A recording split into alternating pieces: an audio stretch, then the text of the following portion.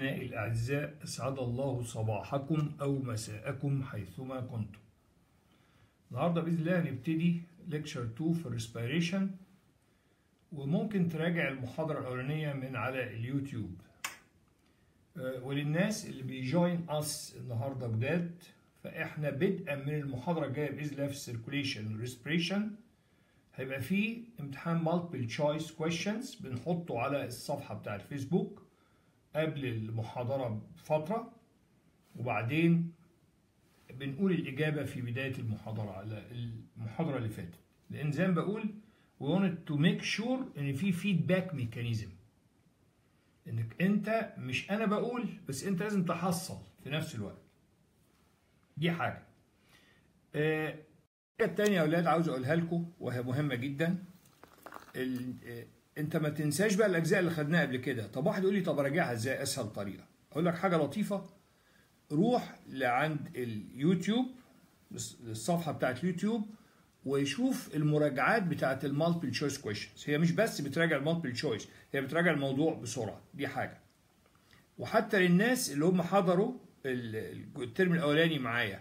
أنت برضو مش هتنسى الأجزاء اللي قبل كده. وفي نفس الوقت مش هتقعد تسمع المحاضرات بالكامل تاني.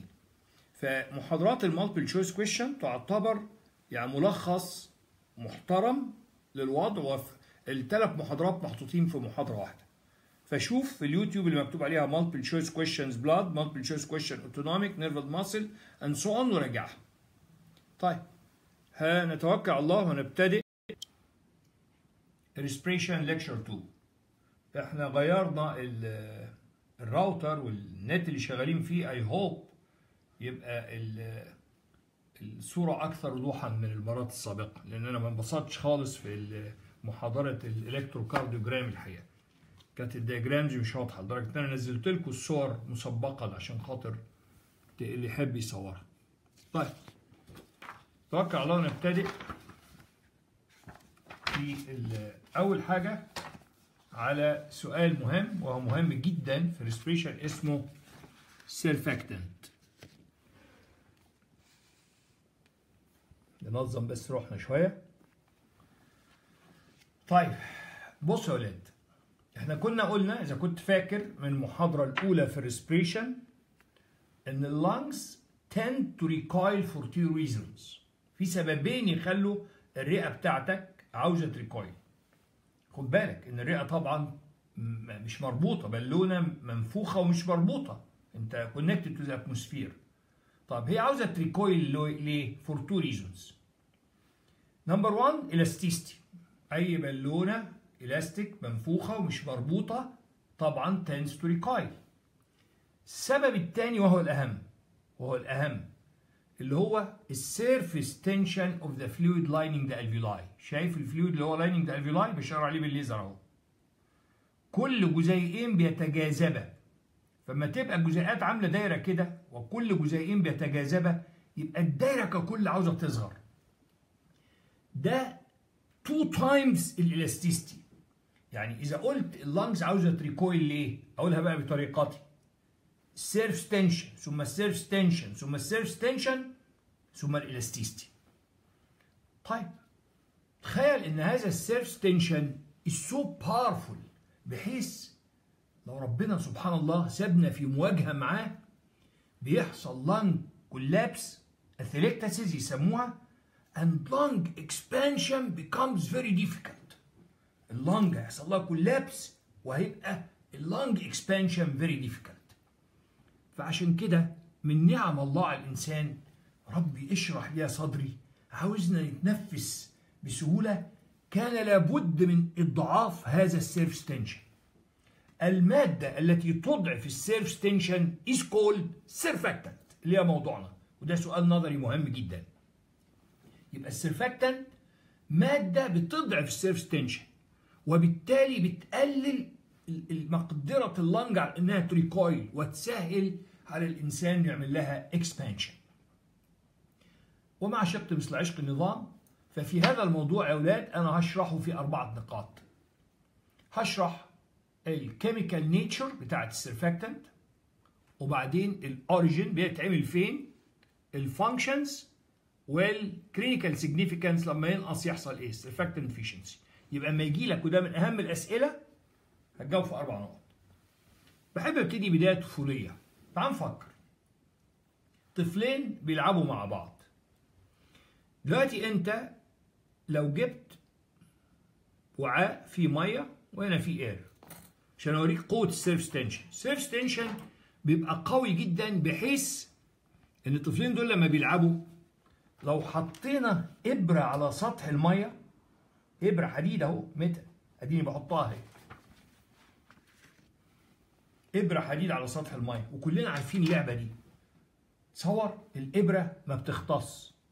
فالطفل بيسأل الطفل. الطفل بيسأل الطفل معلش الظاهر فيه برضه بس أتمنى ال diagrams تبقى واضحه على الأقل. يعني مش مهم إن هو بي try to reconnect ده. okay. آه في كندا كان الحقيقة السرعة رهيبة. يعني بحيث ما المشاكل دي ما تحصلش تقريبا. ما علينا.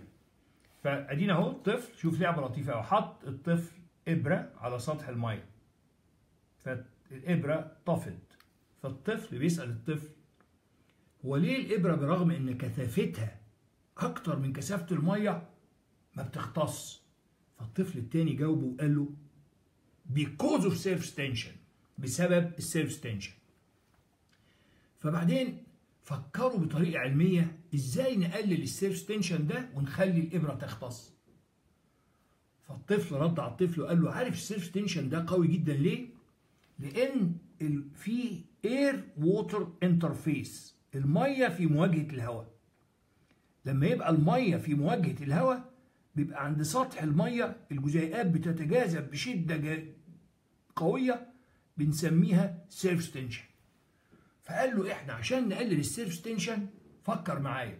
عاوزين حاجة تطفو فوق سطح المية وتعزلها عن الهواء. فما يبقاش ال air في مواجهة المية. تفتكر فكر معايا كده وأنت في البيت. إيه الحاجة اللي في البيت next to you جنبيك على طول تجيبها تحطها في المية وتفصل المية عن الهواء. الطفل قال للطفل نجيب lipid زيت. الزيت هيطفو على سطح المية بالشكل ده. وبالتالي بدل ما ال air هيبقى في مواجهة مع المية هيبقى في مواجهة مع ال surfactant عارف ده بيقلل ال surface tension كام؟ يقللها إلى النصف أو واحد على 12 يعني لما بيبقى ال air في مواجهة مع المية بيبقى ال surface tension مرتين ل 12 مرة. لما يبقى في حاجة بتفصل ال air عن المية واللي قلنا مفيش حاجة هتطفو في سطح المية وتفصل المية تحتها عن ال air فوقها غير ال lipid من هنا نخرج بأول كلمة بقى الطالب بيفكر. يبقى ال chemical nature بتاعه ال surfactant معلش أنا هحاول أعمل حاجة كده صغيرة. ال chemical nature of surfactant ثواني بس تنظيم كده خفيف بس عشان نظبط ال iPad يبقى أول نقطة في النقاط الأربعة إيه ال chemical nature of surfactant لطالب ذكي قال لازم يبقى phospholipid lipid زيت. الزيت هيطفو على سطح المية وهيفصل المية عن الهواء فبدل ما يبقى فيه air water interface هتبقى air surfactant interface وده هينقص ال surface tension بنسبة النصف أو واحد على 12 فعشان كده أهم مكون في ال surfactant إن هو lipid طب إيه أشهر أنواع الليبيد في جسمنا؟ فوسفوليبيد طب أنهي فوسفوليبيد هو الأمثل إنه يشتغل ك surfactant اللي هو الليثيزين فدي نقطة مهمة جدا. don't ever forget يبقى أهم مكون في ال surfactant إنه فوسفوليبيد على وجه التحديد ليثيزين والسؤال ليه ربنا اختار الليثيزين على وجه التحديد؟ تعال أقول لك. لأن هذا ال phospholipid molecule بيتكون من two part شايفها باللون الأحمر أهو. head hydrophobic بتكره المية هنا أهي اللي أنا راسمها. دي هي ال lipid وبتطفو على سطح المية. ما تحبش المية. و phosphate group مش قلنا فوسفوليبيد دي بتبقى hydrophilic فبتبقى جوه المية.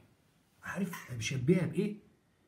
تخيل كده إنك أنت كأنك ممسمر ال lipid molecule في المية. ففي عندنا جزء hydrophobic بيطفو على سطح المية كاره المية بعيد عن المية اللي هو ال lipid. وجزء مدقوق في المية اللي هو hydrophilic اللي هو ال phosphate group بالشكل ده. ده الليثيزم طيب أنا عاوزك تجرب في البيت كده. روح هات نقطة زيت كوباية مية. حط بقطارة نقطة الزيت في المية. إيه رأيك؟ هل نقطة الزيت هت يعني هتسبريد؟ هتنتشر على سطح المية؟ طالب قال لي لا طبعا. لا هتتجمع هتعمل كلكيعة كده فوق سطح المية. آه عشان كده لازم من مكونات ال surfactant يبقى عندي spreading factor حاجة تنشر الزيت على سطح المية. وبالتالي تغطي الزيت المية تماما وتفصلها عن الهواء. ال spreading factors دول حاجتين. إيه اللي يفرد ال phospholipid؟ apoprotein surfactant apoprotein نوع معين من البروتين و calcium ions هو ده اللي بيعمل rapid spread يبقى عرفنا إن ال chemical nature بتاع ال surfactant لازم يتكون من جزئين. لازم يبقى فيه lipid يطفو على سطح المية ويخلي بدل ما ال air في مواجهة surfactant interface الفوسفوليبيد على وجه التحديد لاثزان طيب طب حط نقطة زيت على سطح المية عمرها ما هت spread. مين اللي هي... اللي هينشرهم على سطح المية؟ surfactant apoprotein و calcium ion دول بيشتغلوا ك rapid spreading factor. أما ليه ربنا اختار الليثيزين فأنا فهمتك عشان يبقى ال lipid molecules مدقوقة في المية. وإلا فكر معايا. طيب الكالسيوم وال apoprotein فردهم. أقول لك حاجة جميلة وهمثلها. actually في storms عواصف جوه الرئة بتاعتك من الهواء. ممكن بعد ما افردهم العواصف اللي داخلة دي تروح زايحة الليب التاني وجايباها على الجنب ومرجعة الإير مع الوتر أهو هوريها لك أهو. شوف أنا عاصفه أهي. ده جوه الرئة. يبقى ممكن العاصفة دي تروح زقة بعد ما نشرناه نشرنا الليبيد تروح زقة على الجنب. يبقى سبحان الله في خلقه. كل حاجة عملها ربنا لغرض. حاجة تفصل ال air عن ال water تطفو فوق المية وتفصل ال air عن ال water اللي هي فوسفوليبيد. طب مين يفردها؟ spreading factors اللي هو ال surfactant apoprotein و calcium ion يعملوا rapid spread طب عشان بعد ما تتفرد العواصف الهواء اللي داخل ده هواء الشهيق والزفير ما يلمهاش تاني على الجنب ربنا اختار الليسيزين molecule ممسمر مدقوق في المية لأنه فيه lipid hydrophobic بيطفو على سطح المية يبعد عن المية و phosphate hydrophilic متثبت في المية. النقطه الثانية ارجي مين بيطلع ال surfactant مين الخلية اللي بتطلع ال surfactant إحنا عارفين يا أولاد كنا قلنا في المحاضرة الأولى إن في ال alveoli you have two types of alveolar epithelium. type 1 ده اللي هو ال flat epithelium flat رفيع قوي. عشان يبقى ال thickness قليل عشان يعمل exchange of gases ده المهم. إنما every now and then بتلاقي الخلية الحمراء دي أهي اسمها type 2 هي دي اللي بتعمل ال surfactant وال surfactant موجود جواها في صور في صورة حبيبات عشان كده يسموها granular pneumocytes pneumocytes يعني خلايا الهواء pneumo يعني هواء المحببة. يبقى في ال MCQ لما يقول لي مين اللي بيعمل ال surfactant type 2 الفا صح.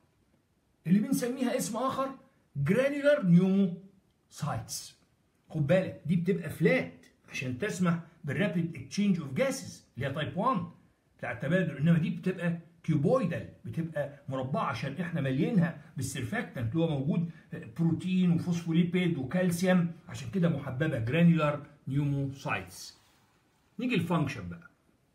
النقطه الثالثه إيه أهم وظيفة لل surfactant طبعا أهم وظيفة إنه it lowers the surface tension of the fluid lining the alveoli.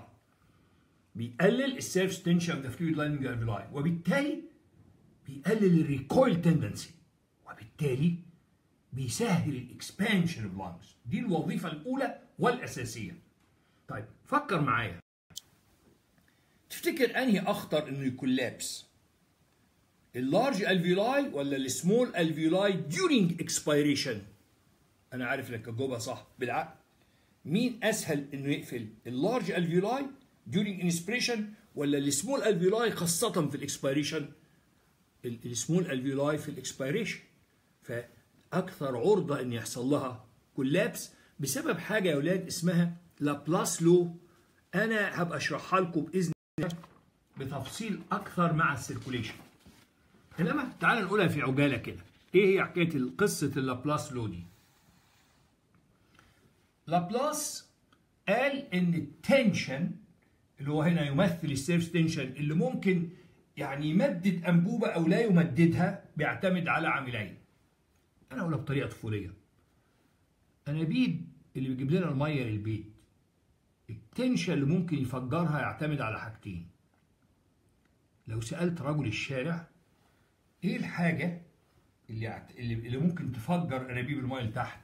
كل الناس هتجاوب وتقول ال pressure ال pressure لو زاد هيزود احتمال إنها تنفجر لو قل هي... هيزود احتمال إنها collapse لو كانت بلاستيك إنما طلبة الطب فقط والأذكياء هيقولوا في عامل تاني. ال area المعرضة لهذا ال pressure اللي هو ال circumference اللي هو محيط الأنبوبة. فكل ما الأنبوبة كانت واسعة يبقى area أكتر. متعرضة لهذا ال pressure كل ما كانت ضيقة area أقل بتبقى متعرضة لهذا ال pressure طب من يمثل محيط الدايرة؟ بنقول نصف القطر في ثابت. يبقى إذا نصف القطر ال radius فاكر كنا بنقولها بالعربي طه نق تربيع خلاص؟ يبقى ال radius يبقى إذا ده Laplace law شوف سهل إزاي وبيجي لنا في ال في ال في ال هناخد بعد كده ال physics في الفسيولوجي. يبقى ال tension اللي ممكن يمدد الأنبوبة أو يخليها ت collapse بيساوي يعتمد على رجل الشارع هيقول إيه إيه اللي ممكن يفجر أنبوبة أو ما يخليهاش تنفجر؟ ال pressure لكن أكثر ذكاء وال area المعرضة لهذا ال pressure اللي هو ال circumference اللي هو ال circle دي وليمثلها ال radius يبقى ال tension تساوي ال pressure في ال radius طب من نفس المعادلة يبقى ال pressure يساوي إيه بقى يا أولاد؟ نجيب دي بدل ما تبقى مضروبة تبقى مقسومة. يبقى ال pressure ال collapsing pressure يساوي ال tension اللي هو هنا ال surface tension على ال radius طب إيه رأيك بقى؟ في أثناء في ال small alveoli ال radius صغير وفي ال expiration بيصغر أكتر وأكتر. يبقى ال radius بيقل جدا لأنه radius of small alveoli و during expiration وعليه لما تقلل اللي تحت ال collapsing pressure اللي ممكن ي collapse ال alveoli يحصل له إيه؟ هيزيد جدا. يبقى ده العيب. بس ما تخافش. ربنا عالجها بطريقة رهيبة. بص معايا. ال alveoli during expiration بدل ما حبيبات ال surfactant متباعدة كده لما بتصغر ال alveoli إيه رأيك في حبيبات ال surfactant بتقرب من بعض؟ يعني ال concentration of surfactant بيحصل له إيه؟ بيزيد مع ال expiration حيثما يجب أن يزيد.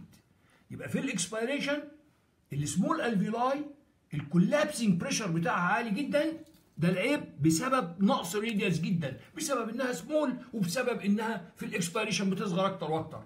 يعوضها حاجة رائعة إنه بسبب إنها بتصغر لما حاجة تصغر تركيز الحاجة اللي جواها يحصل له إيه surfactant يزيد. يبقى ده كان الحل. طيب نيجي تاني ده ال Laplace law. هنبقى نقوله بالتفصيل بقى وكلام جميل قوي يا أولاد لما نيجي لل circulation بإذن الله. ثالث وظيفة لل surfactant يبقى تاني وظيفة it prevents collapse of small alveoli during expiration. العيب إن ال radius بيقل فال collapsing pressure بيزيد من Laplace law. طب والحل؟ إنها لما بتصغر تركيز ال surfactant بيزيد. ثالث وظيفة وهي مهمة جدا إن ال surfactant prevents pulmonary edema يعني إن المية تدخل جوه الرئة. فكر معايا. كل alveolus اهي بص للرسمه surrounded ب capillary ده إزاي الهواء بيتبادل الغازات مع ال blood هنا في ال alveoli في هواء وفي في ال capillary في blood بيحصل ما بينهم exchange of gases طب خد بالك. إحنا قلنا يعني إيه surface tension إن كل ال alveoli مبطنة ب fluid كل جزيئين بيتجاذبا في ما بينهم تجاذب اللي هو ال surface tension اللي بيحاول يعمل collapse في ال alveoli خليك ذكي.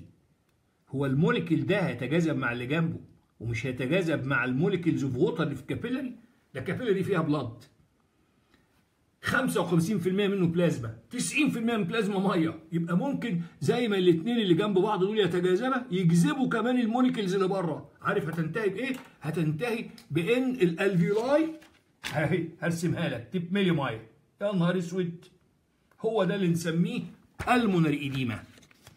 إنها ال molecules دي ما بتجذبش بعض بس وجذبت ال molecule بره ملت الرئة بمية. يسموها pulmonary edema حتى بقولها تعبير جميل قوي. في حالات ال pulmonary edema دي the patient drowns in his own body water. الشخص بيغرق في ميته. يعني المية اللي هو فيها بيغرق فيها. The person, the person drowns in his own body water. فلما نقلل ال surface tension يبقى بنقلل احتمال حدوث ال pulmonary edema نيجي النقطة الرابعة والأخيرة في واحد من أهم المواضيع في الطب. طب لو ال surfactant ناقص ال surfactant deficiency في قصادنا ال list فيها سبع حاجات تنقصها. إنما أنا عاوز تهتموا بنمرة واحد. دي أهم واحدة بتيجي. اسمها respiratory distress syndrome مرض صعوبة النفس. distress يعني صعوبة. syndrome يعني مرض. respiratory distress syndrome لأن لما ينقص ال surfactant يبقى الشخص مش قادر يفتح ال alveoli. respiratory distress syndrome أو كانوا زمان زمان بطلوها دلوقتي بيسموها hyaline membrane disease ليه؟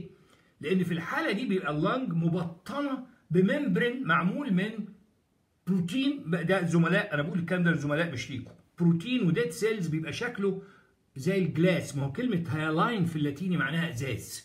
بطلوا الاسم ده. ما حدش بيستخدم كلمة hyaline membrane disease لما تعرف التسمية جت منين. بيسموه respiratory distress disease خد بالك بقى. أهم سؤال فيه.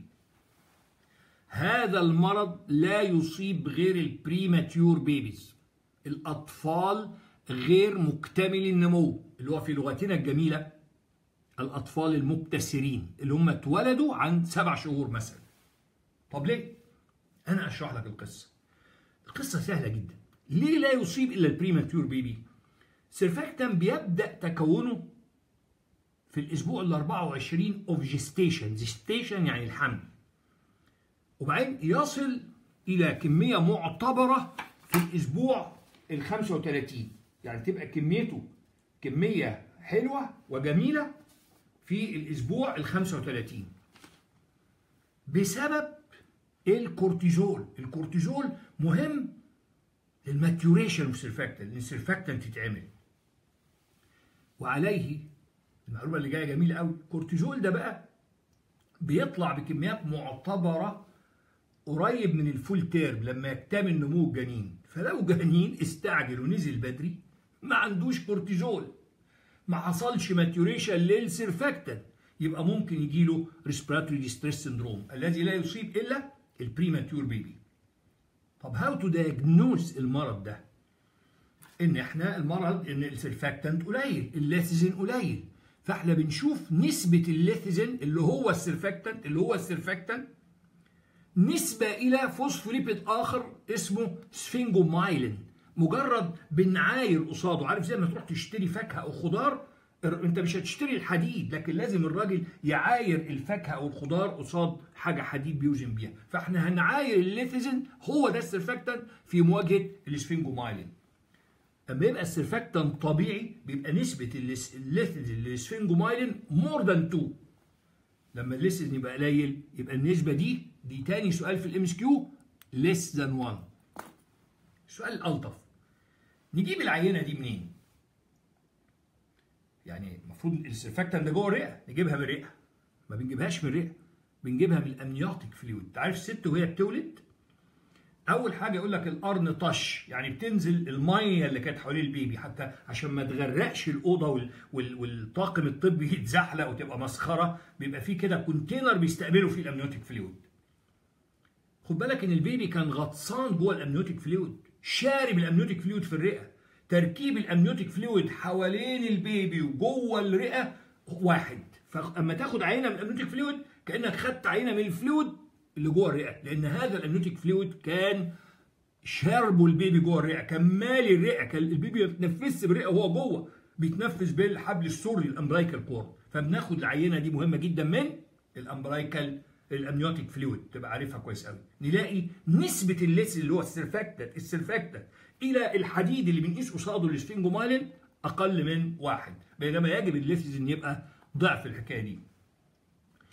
المعلومة اللي جاية دي هقولها للزملاء.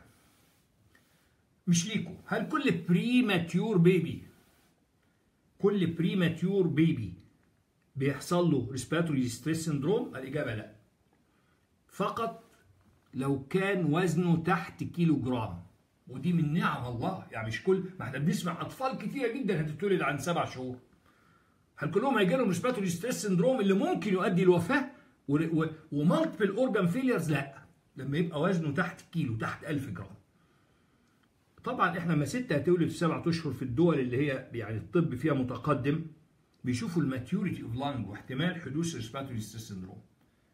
وبعدين بيدوها دواء بيتا ميثيكزون قبلها بيزود الست قبلها ب 24 ساعة يزود تكوين ال surfactant معلش الكلام اللي قلته في الآخر إنه في ال baby اللي تحت 1000 وإن حتى لو ال baby تحت 1000 عشان نقلل احتمال ال respiratory distress syndrome أو ال severity بندي الأم قبلها ب 24 ساعة عقار معين. ده أهم حاجة بتيجي. في ثلاث أسئلة. يبقى respiratory distress syndrome لا يصيب إلا ال premature baby النقطة الثانية نسبة ال lecithin ال sphingomyelin أقل من واحد. النقطة الثالثة العينة بناخدها من ال amniotic fluid والاسم القديم دي بقولها للزملاء ال hyaline membrane disease وفهمتهم ليه سموها hyaline membrane disease عشان ال dead cells والبروتين عاملة غشاء زجاجي داخل الرئة بيخلي very difficult to exchange gas. نيجي بقى بقية الليستة اللي ساعات بتيجي. طب واحد يقول لي أنا اتولدت خلاص الحمد لله يبقى مش هيجي لي respiratory distress syndrome؟ أقول له لا ممكن يجي لك. يقول لي إزاي؟ قول له في الأحوال دي. واحد من نعم الله إن نسبة الاكسجين في الجو 21% هي النسبة المثلى. تخيل لو واحد بنعمل له cardiac surgery حضرتك عملنا لك عملية جراحية في القلب وحطيناك في tent oxygen tent خيمة أكسجين أو استخدمنا ألعن منها أوكشن تحت ضغط oxygen pump. بنعمل كده في ال cardiac surgery. الأوكشن 100% ده for long time أو تحت ضغط يبقى أكتر 100% لو تحت ضغطين يبقى نعتبره 200% تحت ثلاث ضغوط يبقى 300% ده بيقلل مقدرة type 2 alveolar epithelium إنها تطلع ال surfactant طب ثالث سبب. occlusion يعني غلق. occlusion يعني غلق. main pulmonary artery و major bronchus يا bronchus كبيرة pulmonary artery كبير. فكر فيه. الخلية دي اللي هي type 2 عشان تطلع ال surfactant لازم يجي لها دم كافي من ال pulmonary artery وهواء كافي عن طريق ال major bronchi يبقى إذا لو أنت قللت الهواء أو الدم في الرئة هتعمل إزاي surfactant رابع سبب للناس الوحشة اللي بتشرب سجاير. أدي ضمن عيوب السجاير قلنا العيب الأساسي lung cancer أكتر lung بقولها كل مرة بيحصد الأرواح في العالم الناس كلها خايفة من ال cancer هو ال lung cancer في كل 100 رجل بيموتوا من cancer 33 بسبب lung cancer في كل 100 ست بيموتوا من cancer 26 منهم بسبب lung cancer number 1 killing cancer all over the world للرجال والسيدات. اللي هو مرتبط بإيه؟ سرطان الرئة. 85% من سرطان الرئة بيحصل في المدخنين. يبقى امتنع عن التدخين. آدي حاجة تانية للتدخين cigarette smoking تفتكر لما انت تملى الرئة بدخان type 2 هتطلع surfactant بنفس المقدرة؟ لا طبعا. عشان كده تلاقي الواحد اللي بيدخن لما يطلع معاك على السلم يقول لك بالراحة عليا. أنا ما أقدرش أطلع بسرعة زي حالاتك. أنا بدخن. يا أخي طب ما تبطل تدخين. خلي ال surfactant يطلع كده ويقلل ال surface tension يقلل ال lung collapse وتقول ربي اشرح لي صدري لأن عندي surfactant خمسة وستة وسبعة هرمونات. إحنا قلنا أهم هرمون الكورتيزول اللي بيطلع عند ال maturity. يبقى hypocorticism نقص هرمون الكورتيزول وطبعا سموه ليه كورتيزول؟ عشان طالع من ال cortex ال adrenal cortex القشرة بتاعت الغدة اللي فوق الكلية. طب لا بس في هرمون تاني بيساعد ال surfactant الثيروكسين هرمون الغدة الدرقية يبقى hypothyroidism خد السبعة دي بقى مهمة جدا. مش hypo hyperinsulinism. زيادة الإنسولين. ده بيقلل مقدره type 2 على إنها تطلع surfactant يحدث إمتى؟ برضو أنا مش عاوز نبقى زي المحاضرة نقول جملة ومش مفهومة، إيه؟ إمتى ال baby هيحصل له hyperinsulinism؟ قصة مشهورة جدا. أم عندها سكر diabetes تمام؟ يبقى بسبب نقص الإنسولين عند الأم الجلوكوز زاد في دمها في دم الأم لأن ما عندهاش إنسولين. هذا الجلوكوز بينتقل عبر المشيمة لل baby. فال baby لقى عنده جلوكوز كتير بس هو سليم ال baby فيعمل إيه؟ عشان ينقص هذا الجلوكوز يروح مطلع إنسولين. فيبقى الأم عندها hypoinsulinism بس ال baby عنده hyperinsulinism. فالإنسولين الكتير ده زي ما قلل الجلوكوز في ال baby لل normal قلل ال surfactant. يبقى متى يحدث ال hyperinsulinism؟ baby born of diabetic mother. يعني أقولها بأسلوب آخر. يعني أنا خاف على ال baby لو كان premature خلاص وخاف عليه أكتر أكتر لو كانت أمه diabetic. لأن عندها الإنسولين ناقص. فالجلوكوز زايد الجلوكوز هيزيد في ال baby ال baby هيطلع إنسولين كتير يبقى hyperinsulinism هذا الموضوع يا أولاد واحد من أهم الموضوعات في الطب عشان كده استغرقت فيه وقت طويل شوية. واقول لكم تاني في عجالة كده نجمع. كام نقطة يا أولاد يلا نقول مع بعض. أربع نقط. chemical nature قلنا إن ال air water interface مواجهة الهواء مع المية بتخلي ال surface tension 12 مرة أقوى من لو كان في حاجة بتفصل ال air عن المية اللي هو ال surfactant. طب إيه اللي يفصل ال air عن عن المية؟ حاجة تطفو على المية تبقى على سطح المية على ال surface على المية فتقلل ال surface tension إنها فصلها عن الهواء. مفيش غير الفوسفوليبيد. طب أنت لو حطيت اللي هو الليثيزين قلنا وليه ربنا اختار الليثيزين قلنا؟ عشان ال lipid part بيبقى فوق hydrophobic ال phosphate part يبقى تحت متسمر في المية. شوف الاختيار الرائع بتاع ربنا للليثيزين ده ليه ليثيزين لأن في عواصف جوه. هتزيح هذه الزيت ده وتجيبه على الجنب. طب من الأول مين اللي فرده ال calcium ion وال surfactant apoprotein. دي النقطة الأولى. النقطة الثانية ال origin مين اللي طلعه؟ type 2 مش type 1 type 2 alveolar epithelium اللي هي شكلها هتعرفها إزاي؟ إنها cubical ومحببة. فيسموها granular pneumocytes النقطه الثالثه وظائفها. أهم وظيفة اتلور ذا سيرف ستيتش اوف ذا فلويد لاندنج الفيولاي مين اللي عرضة؟ يكولابس أكتر السمول الفيولاي سبيشالي إمتى؟ في الإكسبيريشن. ليه؟ لأن الكولابسنج بريشر بسبب نقص الراديوس بيزيد جدا. طب الحل؟ إيه الحل روحها؟ لما بتصغر لما بتصغر الكونسنتريشن اوف سيرفاكتن بيزيد. ثالث حاجة زي ما ال fluid بيتجاذب ما بين بعض داخل ال alveoli هيجذبوا ال fluid molecule اللي في ال capillary هيملوا ال alveoli بمية pulmonary edema fatal disease the patient drowns in his own body water فهي بت prevents ال pulmonary edema الرابع نقطة والأخيرة ال surfactant deficiency أهم سبب respiratory distress syndrome ثم respiratory distress syndrome ثم respiratory distress syndrome الذي لا يحدث إلا في ال premature baby أنتوا عرفتوا حاجة زيادة؟ مش أي premature غالبا وزنه تحت الكيلو. ده للزملاء. نشخصه إزاي؟ الليسيزن قليل. بنقيسه في مواجهة إيه الحديدة اسمها إيه sphingomyelin phospholipid آخر. ال lecithin sphingomyelin أقل من واحد. بينما يجب يبقى أكتر من اثنين العينة بتاخدها منين؟ مش من الرئة. من ال fluid اللي كان جوه الرئة وال baby غطسان في وسط في وسطه وهو في بطن الأم ال amniotic fluid. وبعدين بقية ال list ة مش هقولها تاني أهم حاجة فيها اوعى تنسى.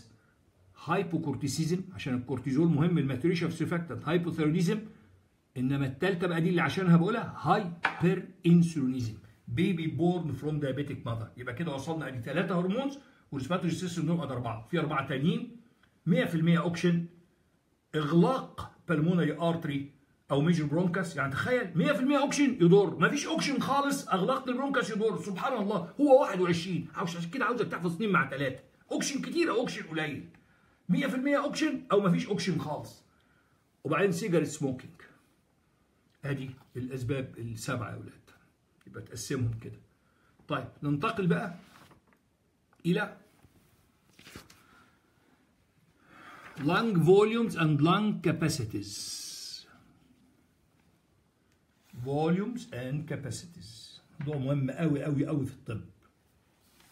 عاوزك تشوف اللي يفهم فيسيولوجي هيبقى أولاد دكتور محترم معتبر دكتور كويس بإذن الله له حضراتكم.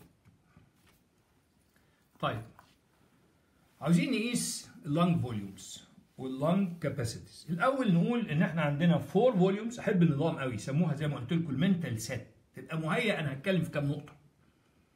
في أربعة volumes واربعه capacity إيه الفرق بين ال capacity وال volume ال capacity أكثر من volume أكثر من volume يا اثنين يا ثلاثة أربعة. وعليه الطالب ذكي أنت احفظ الأربعة volumes وبالتالي تقدر تستنتج بدون مجهود الأربعة capacities you don't have to إنك تحفظ ال capacity تحفظ ال volume بس أربعة. اجمع اثنين أو ثلاثة أو أربعة هم دول ال capacity حلو؟ طيب. التكنيك اللي بنعمل ده اسمه إيه؟ هنسألك. يعني إيه الجهاز يعمل التكنيك اسمه spirometry. ده التكنيك. طب الجهاز اسمه spirometer. ما تلخبطش. ال technique spirometry. إنما الجهاز اسمه spirometer. جهاز very simple هذا الجهاز عبارة عن إيه بقى يا أولاد سهل جدا الجهاز ده. عبارة عن أدي air chamber كده. يعني drum عباره فيه هواء. inverted يعني مقلوب على water chamber مقلوب على water chamber حلو؟ وبعدين حضرتك هتتنفس اهو من تحت المية تاخد ال air. فلما هتتنفس ال drum ده هينزل انك خدت هواء في عجلة هنا. بكرة. خد بالك طبعا ال drum عشان ما يغطس من الناحية الثانية ظابطينه ب weight زي الاسانسيرات. ما انت مش أول ما تركب اسانسير بيقع عليه لأن هم وازنينه بحديد من الناحية الثانية across بكرة. نفس الفكرة. حضرتك لما هتاخد هواء اهو بتاخد هواء يبقى ال drum ده هينزل. خلاص؟ فالثقل ومعاه ال pen هيرتفع. يعني during inspiration المؤشر ده هيعلى. طب لما تطلع هواء expiration بتملى ال drum يبقى بالعكس الأسانسير طلع يبقى الثقل وال pen ينزلوا يبقى تنزل الرسمة تنزل لتحت يبقى ال inspiration بيتسجل لفوق وال expiration لتحت. الجهاز ده التافه ده اسمه spirometer اللي هو air chamber اللي هو drum inverted مقلوبة على water chamber و across عبر عبر عجلة. وموجود من الناحية الثانية ب weight balance زي الأسانسير بالظبط. حضرتك تاخد هواء هو ينزل الثقل والإبرة تطلع. هو يطلع في ال expiration هي تنزل. يبقى ال inspiration بيتسجل لفوق وال expiration لتحت. طيب. نيجي بقى مين هم الأربعة volumes هنحفظهم مع بعض. اتفقنا مش هسيبك تحفظ لوحدك هتحفظهم معايا بإذن الله. الأول ألم تتساءل يوما؟ حضرتك ما سألتش روحك. بقالك 18 سنة بتتنفس بتاخد شهيق وتطلع زفير. سالت روحك أنت بتتنفس كام سنتي؟ هو ده اللي اسمه يا أولاد ال tidal volume. ال tidal volume 500 سم نص لتر. أدي أول مرة هتعرفه وتبقيه في ذهنك ما حيد يبقى ما هو تعريف ال tidal volume؟ ثلاث كلمات حب النظام قوي. the volume inspired or expired. Inspired هو نفسه ال expired مش عاوز عبط. لما يسألك في الشفوي. هل ال volume inspired هو نفسه ال volume expired طبعا طبعا. ما ما ما ما, ما لخبطكش. لو في فرق سنتي باخده ما بيطلعش. سنتي في النفس. إحنا 12 نفس في الدقيقة. اضربها في 60 يبقى في الساعة على آخر يوم تفرقع. يبقى تملي ال volume inspired هو ال volume expired عبط ما بحبوش. يبقى أول نقطة في في التعريف ثلاث نقط هو. ده volume inspired وال expired تاني نقطة each cycle كل cycle each cycle ثالث نقطة during rest. يبقى ده تعريف ال tidal volume or expired في ال cycle during rest. 500 سم أما لماذا سمي tidal volume tidal من كلمة tide اللي هو المد والجزر اللي بيحصل في سطح المية بسبب جاذبية. فكر أهي أدي أدي فيه هواء أهو. normally الرئة فيها هواء اللي هو هنقولها دلوقتي بعد شوية اللي هي ال functional residual capacity normally الرئة فيها 2300 بناخد عليهم 500 ونطلع ال 500 يبقى عاملة زي أدي سطح البحر أدي البحر اهو دي سطحه. ناخد 500 ونطلع 500 يبقى عاملة زي ظاهرة ال tide المد والجزر عشان كده سموها tidal volume أنا قلت in our lectures بحب أقول المعلومات العامة equal important زي المعلومات. الفرق بين دول دولة ودولة بين شخص وشخص. هو في المعلومات اللي عنده لا شيء آخر. الله لا يخشى من عباده إلا العلماء. العلماء دول مهمين جدا لكن اللي عندهم معلومات. يبقى ده معنى كلمة ليه سموها تايد وعشان نكمل فقرة المعلومات العامة ال tide بسبب جاذبية القمر مش الشمس. ويحدث في البحر والبر. القشرة الأرضية بترتفع بس بترتفع 20 30 سم إنما سطح البحر ممكن يرتفع إلى 10 متر. كانت هذه العام يبقى قمر وتحدث في البحر والأرض. عشان كده سموه tidal volume طب حضرتك بتاخد 500 سم هل ده أقصى حجم ممكن تاخده؟ لا ممكن آخد زيادة عنه. آخد آخد 3000 ده يسموه inspiratory reserve volume احتياطي الشهيق. يعني بعد 500 آخد تلات آلاف ده احتياطي الشهيق. طب نيجي تاني. زي ما في احتياطي للشهيق في expiratory reserve volume ممكن بعد ال 500 أطلع 1100 ده ال expiratory reserve يبقى ال inspiratory reserve 3000 وال expiratory reserve 1100 أهو. ال inspiratory reserve 3000 وال expiratory reserve 1100 طالب يقول لي طب أنا ممكن ألخبطهم؟ أقول له تبقى أهبل. قال لي ليه؟ يا أخي ال inspiratory reserve أنت بتاخده من الجو الجو غير محدود. إنما ال expiratory reserve بطلعه من الرئه ورئة محدودة. فال inspiratory reserve كبير قوي 3000 إنما ال expiratory reserve 1100 still بعد ما تطلع ال 1100 في حجم لا يمكن إخراجه من الرئة. يسموه residual volume يعني حجم متبقي 1200 1200 residual volume residual يعني متبقي. يعني بعد ما تطلع ال 1100 still في 1200 ادي الأربع احجام المذاكرة فن التحصيل فن آخر. أنت بقى ما تقعدش تحفظهم. كل واحد بتعريفه والرقم. أنت أنا أحفظهم كالآتي. بص لي هحفظها إزاي؟ كده. أنا باخد 500 أقدر آخد 3000 أو أطلع 1100 المتبقي 1200 يبقى تاني يلا نحفظ مع بعض. 500 3000 1100 still في 1200 لقطهم؟ يلا نحفظناهم مع بعض. يلا ناخد كام ونطلع 500 ده ال tidal volume. عندي احتياطي آخد كمان من الهواء الغير محدود. 3000 لكن الرئه محدودة أطلع 1100 والمتبقي 1200 حلوة؟ سهلة اهي اوعى تنساهم. الأعداد دي مهمة جدا في ال MCQ فين أهم تعريفين بيجوا؟ أنا حاططهم لك هم بالأصفر. أنا الأسئلة worldwide تعريف ال tidal volume ثلاث كلمات. Inspired or expired each cycle during rest. طب تاني واحد تعريف ال residual volume هي قايلة روحها residual يعني ده volume that remains الحجم الذي يتبقى. residual يعني the volume that remains لو بندرس في ال English أو إحنا دي ال mother tongue بتاعتنا كان مش عاوز أعرف. residual volume the volume that remains بس فين بقى النقطة المهمة؟ after maximum forced expiration يعني تطلع كل اللي طلع عليه. اللي باقي هو ده residual volume يبقى ال volume that remains after maximum forced expiration ده الأربعة volumes نيجي ال capacity بقى. قلنا ال capacity يا أولاد أكتر من volume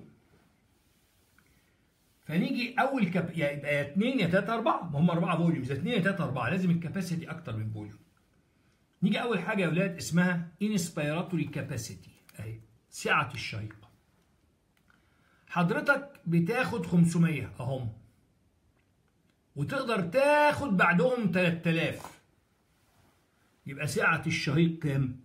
3500 ده ال inspiratory capacity يبقى اما أقول capacity تبقى أكتر من volume اللي هي تشمل في هذه الحاله tidal volume ال 500 ومعاهم ال inspiratory reserve ال 3000 زي ما بقولها في مثال بس مش هرسمها بقى واضيع وقت. قارورة فيها 500 سم إزازة فيها 500 سم وأقدر أحط في مكانها أحط كمان 3000 هي فيها 500 وعندي مكان ل 3000 يبقى سعة القارورة capacity عشان تفهم منين جابوا كلمة capacity تبقى كام؟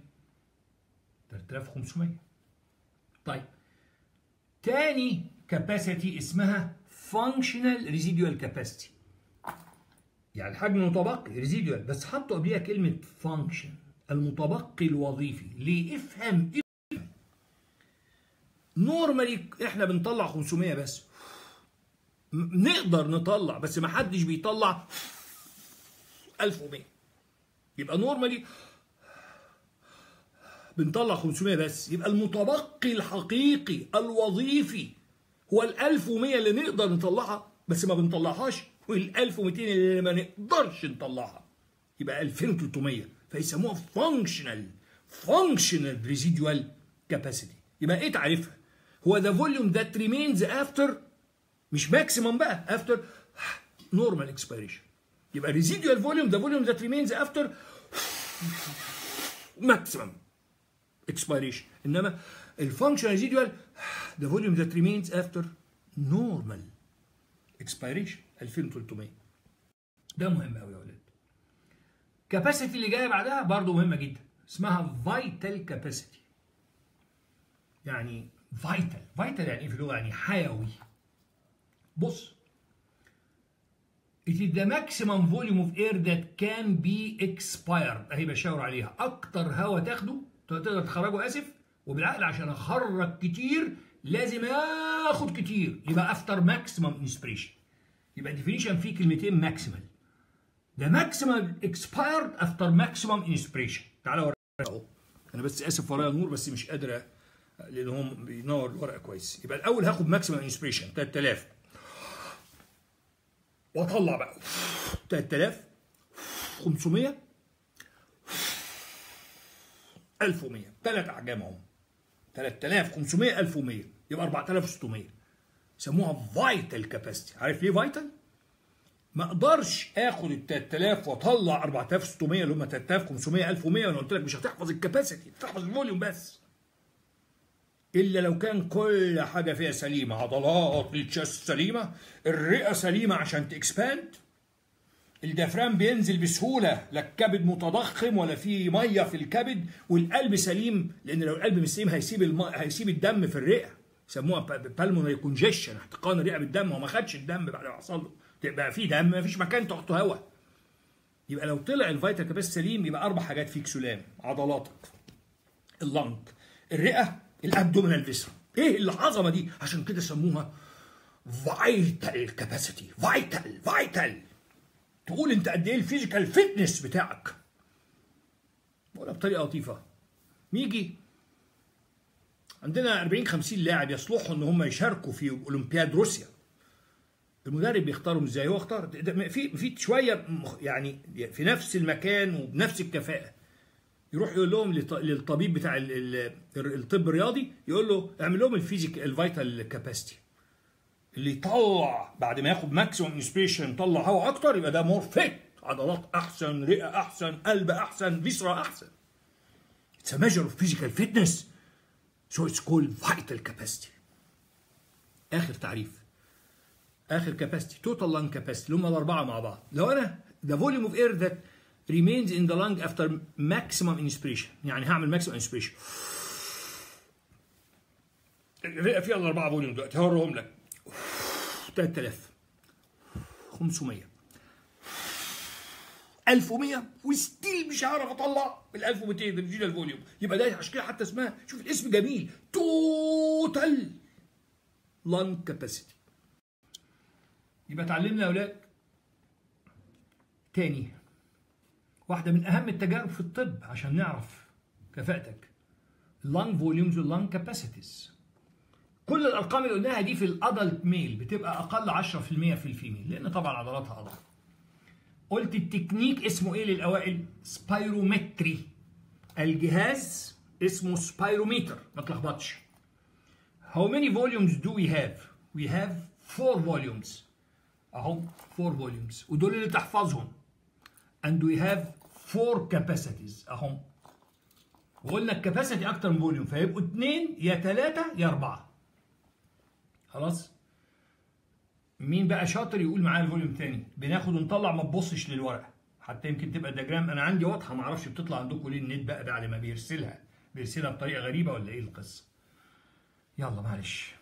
بناخد ونطلع 500 نقدر ناخد 3000 لأنه من الهواء ال inspiratory reserve 3000 ده أكبر واحد.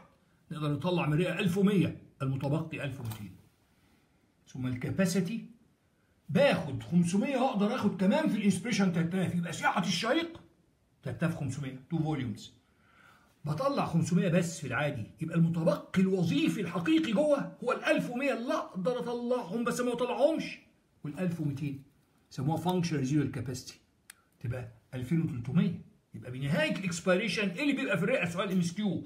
لما تعمل normal expiration اللي باقي مش ال residual volume غلط. في ال MCQ اللي باقي ال functional residual capacity ادام أكتر volume ما يقولوش volume يقولوا capacity طب مين أهم واحد فيهم؟ ال vital capacity بعد ده اثنين مهمين في ال capacity باللون الأصفر أهو.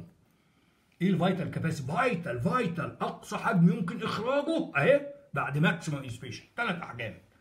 ده maximum expired after maximum inspiration 3500 1100 تبقى 4600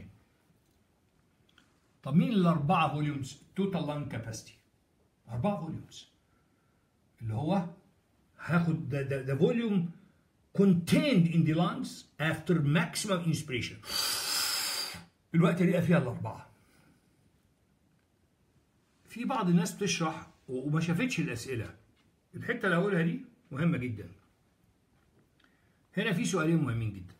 بيلعبوا بيها إزاي بقى؟ بيلعب وعاوزك تلعبها مع بعض بم... ب... ب... يعني حسابيا. معروف انت ال volumes بواحد. إحنا قلنا يعني رقم ال volume واحد. تحطها كده وانت النهارده وانت بتلعب تقول الأربعة volume دول ده ال volume. أي حاجة volume تبقى واحد. inspiratory capacity و functional capacity 2 2 volumes ال vital capacity 3 volumes أهي أنا عاملها لك أهي 3 volumes يبقى دول 2 volume إنما ال vital capacity 3 ال total lung capacity من اسمها هي الأربعة volumes يبقى رقم ال total lung capacity أهو كاتبه لك 4 رقم ال vital capacity 3 أما ال inspiratory capacity 500 و 3000 يبقى 2 وال functional residual 2 فيلعب لك بقى إيه؟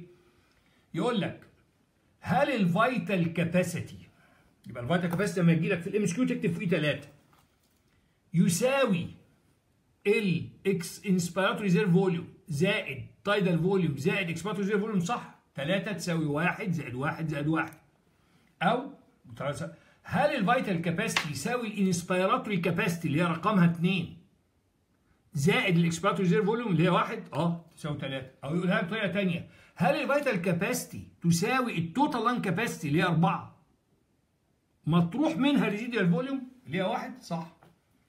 دي أصعب طريقة. إذا ما مرنتش روحك عليها مش هتجاوب حاجة. يبقى هتحلها إزاي المسائل دي؟ إن قبل ما تدخل امتحان ال MCQ يبقى كل volume وكل capacity لها رقم في ذهنك. ودي بعد كده تبقى موضوع طفولي. ال volume رقمه كام يا شباب؟ احفظوا معايا واحد. أي الاربعه volumes بواحد. رقمها واحد. volume واحد. أهي. رقمها واحد. واحد واحد واحد واحد. two capacities رقمهم اثنين ال inspiratory capacity إنها two volumes وال functional residual capacity إنها two volumes ال vital capacity رقمه كام؟ ثلاثة ال total lung capacity اللي هو الأربعة volume ده رقم أربعة. يبقى لازم مش بس تحفظ الاسم والرقم المناظر ليه؟ ال capacity دي كام volume ال total أربعة ال vital ثلاثة الانتانين اثنين أما ال volume رقم واحد. بعد كده أجيب لك أي تباديل وتوافيق في ال MCQ دي أصعب حتة في ال MCQ حط الرقم هتلاقي. طبعا 4 تساوي 1 زائد 1 زائد 1 زائد 1 اللي هو الأربعة volume أو تساوي 2 زائد 2 أو تساوي 3 زائد 1 ال vital capacity هو 3 4 ناقص 1 أو 2 زائد 1 أو 1 زائد 1 زائد 1 أنا حافظ أسئلة worldwide يا أولاد تاني سؤال في ال MCQ هنا مهم جدا. كل الثلاثه volumes دول اللي قلناهم الأربعة volumes آسف فيهم ثلاثة بس بيخرجوا فيتقاسوا بال spirometer. فكر معايا مين ال volume الوحيد اللي من اسمه ما بيخرجش وبالتالي ما لا يمكن يتقاس بال spirometer. الطالب قال لي residual volume ال residual volume طبعا ما يتقاس بال spirometer. ما بيخرجش. طب السؤال الأذكى طب قول لي مين ال capacities ال capacities التي لا يمكن قياسها بال spirometer؟ لطالب ذكي قال لي هي ال capacity ال capacity اللي بتحتوي تحتوي residual volume اللي ما بيخرجش من اسمه residual ما خرجش. ما راحش لل spirometer عشان يتقاس يبقى بالتالي بالتالي مش هتتقاس. في اتنين. capacities لا يقاسوا بال spirometer واحد اسمه فاضحه functional residual residual capacity واحد رقمه فاضحه total lung capacity لأنها الأربعة volume. يبقى 100% من ضمنها residual volume ده سؤال MCQ مهم جدا. يبقى الحتة دي يا أولاد فيها سؤالين في ال MCQ بمنتهى الخطورة بس تبقى مستعد ليهم. لعبة الأرقام ورده الجزائرية عندها أغنية اسمها لعبة الأيام. إحنا بقى لعبة الأرقام. ال volume بواحد الأربعة volumes واحد وال capacity يا اتنين يا تلاتة يا أربعة. التوتال أربعة الفيتال كاباسيتي ثلاثة التو كاباسيتي الاسباتو كاباسيتي فانكشن ده باثنين لما يجي لك ده يساوي ده زائد ده أو ده ناقص ده تحط الرقم. الأرقام ماشية صح يبقى الإجابة صح. مش هقول أوضح من ذلك. والعبوها مع بعض. تاني سؤال في ال MCQ أنا حافظهم واحد واحد. مين ال volume الوحيد اللي ما بيخرجش ولا يقاس بال spirometer؟ ما تقدرش تقيسه بال spirometer اللي هو residual volume طب مين ال capacity اللي داخل فيها residual volume وبالتالي لا يمكن تقاس بال spirometer. أهو ده داخل فيه residual volume واسمه فاضحه functional residual وده رقمه فاضحه total lung capacity طيب يا ولاد. ننتقل إلى حاجة جميلة اللي هي ال residual volume عاوزين بقى طب إزاي هنعين ال residual volume ده اللي ما بيخرجش؟ نعينه إزاي؟ تعال نتفرج عاوز مساعد الظاهر معايا عشان خاطر تعاون معايا. هيجي لنا سؤال residual volume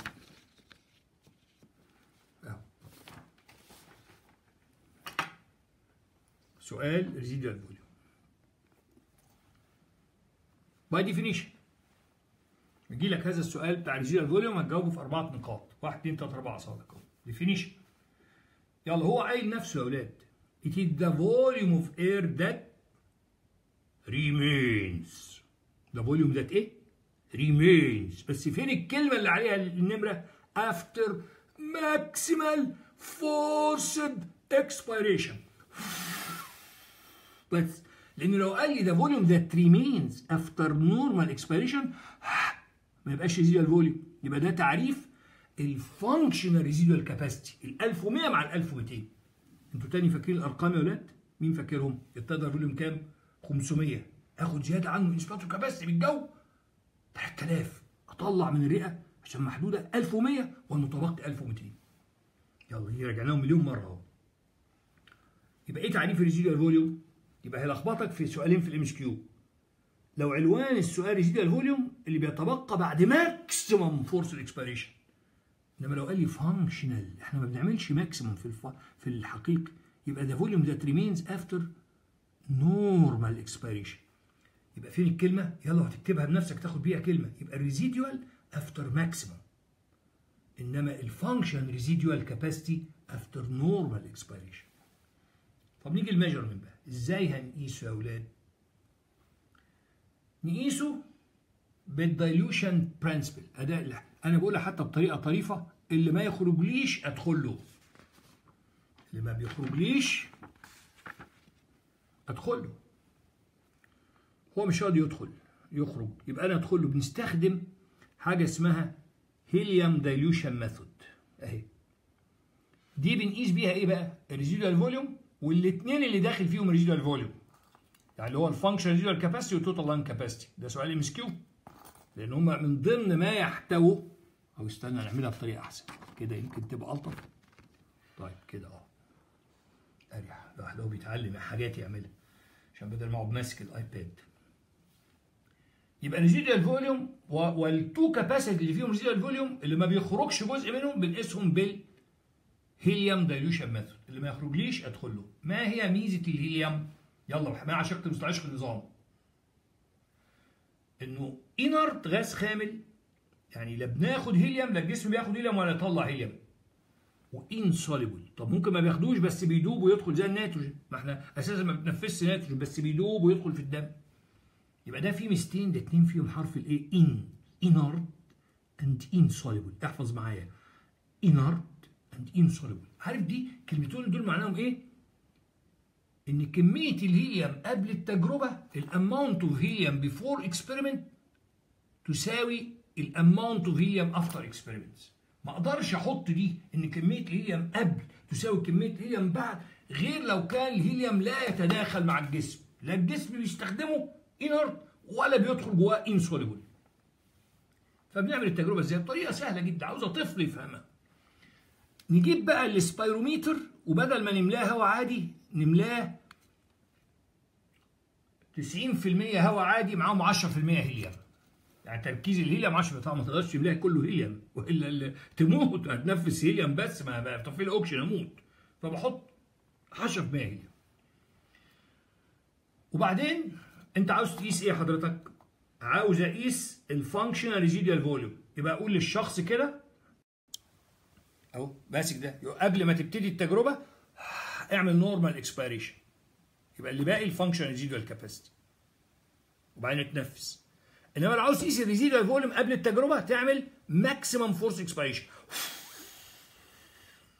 يبقى اللي باقي ال residual volume وبعدين ابتدي اتنفس. فهمت؟ يبقى عاوز تقيس أيهما؟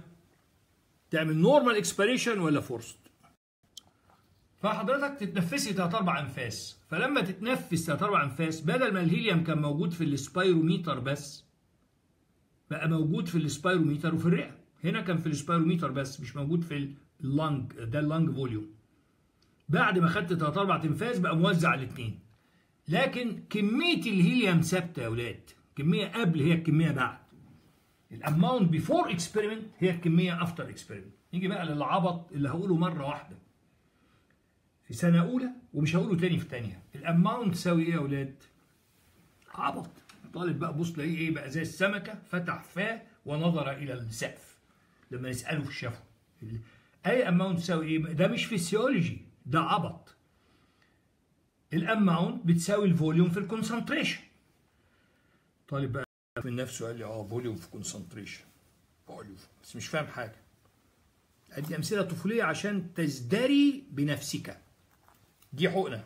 عارف العلبة دي فيها إيه؟ في دي دي حقنة. ال volume بتاع الحقنة 10 سم تركيز العقار 1 مللي جرام في السنتي. يبقى المريض هياخد ال amount بتاع العقار قد إيه؟ ال volume 10 كل سنتي فيه واحد كل سنتي فيه واحد كل سنتي فيه واحد. يبقى ال amount تساوي إيه؟ 10 في واحد. ال volume times ال concentration مش هقولها تاني في سنة تانية. لأن عيب إن أنا يعني أنزل بهذا المستوى في الشرح. عيب قوي. وأنا معايا الناس اللي هم categorized as genius ال IQ بتاعكم ابقى أشرحه لكم في سنة تانية. أكتر 140% الاطباء يبقى عرفت؟ يبقى أي أي amount تساوي إيه؟ حجم الحقنة تركيز العقار في الحقنة. 10 سم كل سم فيه 1 مللي جرام يبقى ال amount اللي خدها تبقى ال volume في ال concentration طبق ده. قبل التجربة كان كل الهيليوم موجود في ال spirometer ال volume في ال spirometer وده مكتوب عليه ال volume في ال spirometer والتركيز إحنا قلنا كان 10% C1 قبل التجربة. يبقى ال amount of helium قبل ما ابتدي التجربة هي حجم ال spirometer في تركيز الهيليوم في ال spirometer C1 بعد التجربة اتوزع الهيليوم على حجمين. ال volume of spirometer اهو وال volume of lung في ال يعني ال volume of lung ده ال volume of spirometer. بس طبعا التركيز قل حتى أنا راسمها بطريقة لطيفة. رسمت حبيبات اللي هي متباعدة عشان أديك الانطباع إن التركيز قل بقى C2 ممكن أحسبه خد عينة من ال spirometer وشوف التركيز بعد التجربة اللي هو C2 وإحنا عارفينه قبل التجربة اللي هي C1 حاسبينه. وال volume spirometer مكتوب. يبقى مين المجهول الوحيد الانون الوحيد في المعادلة؟ هو ال volume of lung. تطلع ولا ما تطلعش؟ تطلع. العالم يفكر يا غجر. خلاص معلش كلمة غجر دي للدعابة محدش يزعل مني.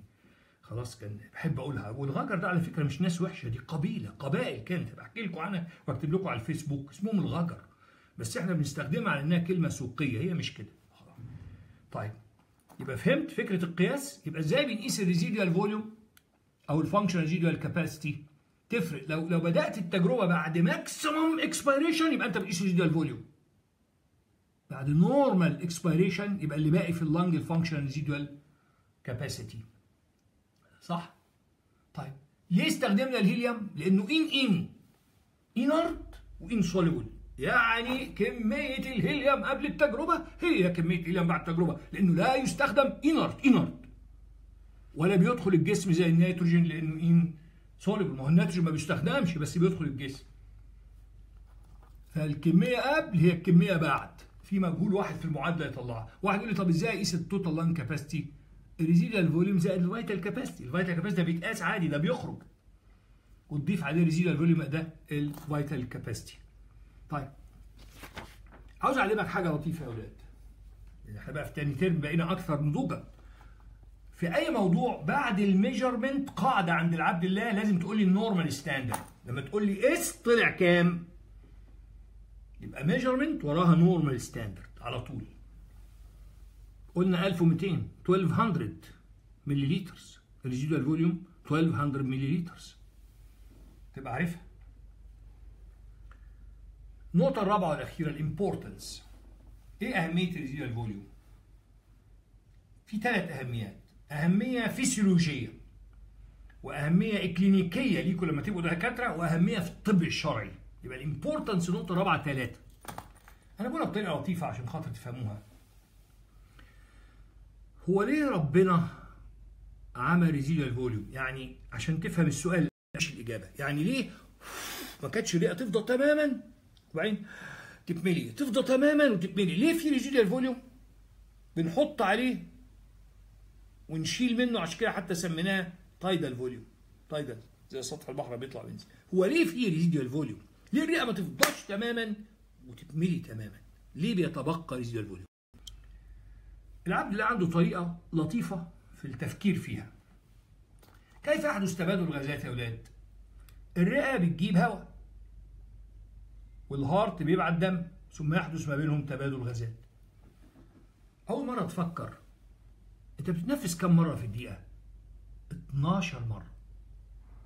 بينما ال heart عدد دقات القلب ال heart بيبعت كم مرة الدم للرئة؟ عدد دقات القلب 72 مرة في الدقيقة.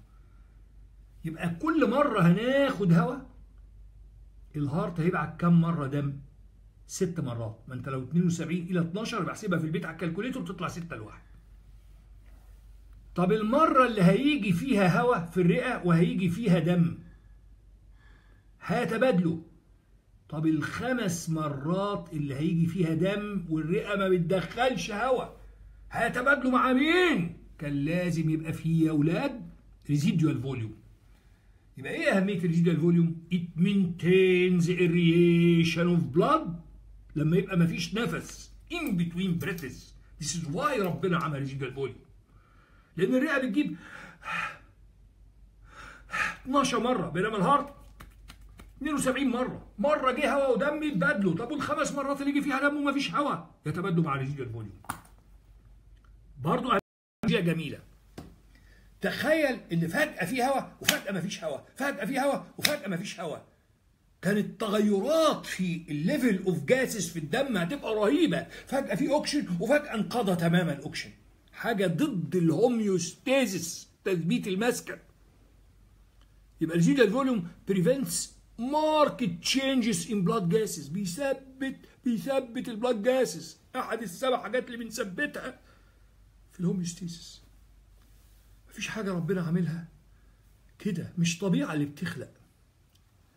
وراء الخلق خالق قوة عاقلة نسميها الله. كل حاجة لها سبب بس لما تفكر. دلوقتي ال heart بيبعت دم وأنا ما خدتش نفس. هيتبادل مع مين؟ مع ال residual volume لما يبقى فيه هواء وأحط عليه شوية وأشيل منه شوية غير لما يبقى مفيش خالص وبعدين يبقى فيه كله. مفيش خالص وبعدين فيه كله. يبقى التغيرات رهيبة في ال blood gas prevents marked changes in blood gas نيجي الاهميه الإكلينيكية. ال residual volume 1200 ال total lung capacity اللي هي الأربعة volume 1200 و1100 و500 وكام الأخرانية 3000 يعني كمية كبيرة قوي خلاص لو عاوز تجمع 3500 3500 و1100 يبقى 4600 وبعدين 1200 يبقى 5800 حلو؟ يبقى تقريبا قد إيه ال residual volume من ال total lung capacity تقريبا يمثل 1100 1200 من اعتبرها 6 لتر يعني تبقى 20% يعني residual volume تقريبا 20% من ال total lung capacity لو أنا عندي obstructive lung disease زي ال bronchial asthma يبقى الهواء أما بيدخل خروجه صعب. عارف ليه؟ لأن during inspiration ال bronchi بتوسع شوية. during expiration بتضيق شوية. يعني في ال normal الكميه اللي بتدخل هي اللي بتخرج. لكن لما يبقى من الأول هي ضيقة يبقى أما تضيق شوية في ال expiration ده تخلي خروج الهواء صعب. فيبتدي residual volume يزيد في ال bronchial asthma في ال obstructive lung disease مين اللي بيخرج الهواء؟ ال elasticity lung. يبقى الناس اللي فقدوا ال elasticity مرض اسمه emphysema هيزيد عندهم ال residual volume فأنا بقيس ال residual volume نسبة إلى ال total lung capacity لو لقيته أكتر من المفروض تحت 20% أهو. لو لقيته فوق 30% يبقى أنا عندي obstructive lung disease يبقى أي زيادة في ال residual volume هو ليه زاد؟ يا إما الهواء بيدخل بسهولة أكتر ما بيطلع لأن قلنا ال bronchi بتضيق شوية هناخدها دلوقتي في ال expiration عن ال inspiration في الأوضاع الطبيعية ما تأثرش. لكن لما تبقى already أنا عندي ربو شعبي ضيق في الشعب وهي ضيقة والضيق كمان يبقى هيتبقى شوية جوه. في الخروج يبقى ال obstructive زي ال bronchial asthma وفقدان ال elasticity زي ال emphysema. يزيد ال residual volume. ده حاجة. ونلاقي نسبته إلى ال total lung capacity أكثر من افتح ودانك 30% 30% ادي الأهمية الكلينيكية. ما هو تعريف ال residual volume؟ ده volume of air after maximum expiration. The volume that remains after maximum expiration. طب كبرت في دماغي وعاوز أطلع residual volume يا حبيبي ما ينفعش ما بيطلعش. لا أنا عاوز أطلعه. في حالة واحدة بس يطلع فيها residual volume سؤال شفوي. لو حصل pneumothorax ضربتك stab injury في ال chest wall لغيت ال negative intrapleural pressure فالرئة بتاعتك فضت أدي الحالة الوحيدة اللي يخرج فيها residual volume لو عملت collapse في ال lung سؤال شفوي. pneumothorax حتى بعد ما خرج بعد ما خرج ال residual volume still في كمية هواء صغيرة صغيرة اسمها minimal air كافية إنك لو خدت حتة من الرئة وهقول لك إمتى بناخد حتة وحطيتها في مية it floats تطفو. يعني بعد خروج residual volume still في minimal air طب مين الشخص الوحيد في العالم اللي ما عندوش minimal air اللي هو من الاصل ما عندوش residual volume اللي هو بالأصل ما خدش نفس. baby born dead لو baby اتولد ميت أساسا هو ما خدش نفس عشان يبقى عنده residual volume فلما تطلعه يبقى minimal air لا عنده لا residual ولا minimal فلو خدت حتة من الرئة بتاعته ورميتها في مية مفيش minimal air it sinks تهبط. وعليه في الطب الشرعي بقت حاجة مهمة جدا. نقدر نفرق هل ال baby ده born dead ولا born alive then killed بسبب الميراث؟ يعني بحكي القصة في عجالة. ست معدمة اتجوزت راجل غني الراجل مات. كانت حامل. كل الناس مستنية نتيجة الحمل. لو ال baby نزل حي هيرث أبوه.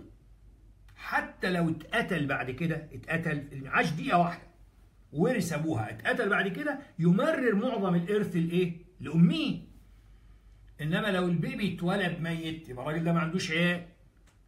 يبقى الست تارث كمية قليلة قوي ومعظم الإرث يروح لأهل الزوج. يبقى إذا أهل الزوج يهمهم إن ال baby يتولد ميت ف actually خدوه موتوه. مش هتخيل علينا إحنا كأطباء. جابوا لنا العيل وقالوا لنا العيل ده ميت اتولد ميت. طب اقعد يا حبيبي أنت وهو نفتح ال chest بتاع ال baby اللي جابوه لنا ميت وناخد حتة من لو هو فعلا اتولد ميت لا خد residual volume وبالتالي مفيش minimal air يبقى الحتة دي تنزل. يبقى هما يطلعوا براءة. أما لو خدنا حتة من الرئة لقيناها بتطفو يبقى في minimal air يبقى ال baby ده خد هواء في residual volume بدليل في minimal air حتة طفت طلعت يبقى هما ينزلوا يروحوا في داهية. أدي الأهمية الكلينيكية. To distinguish between baby born dead and baby born alive then killed بسبب الإرث.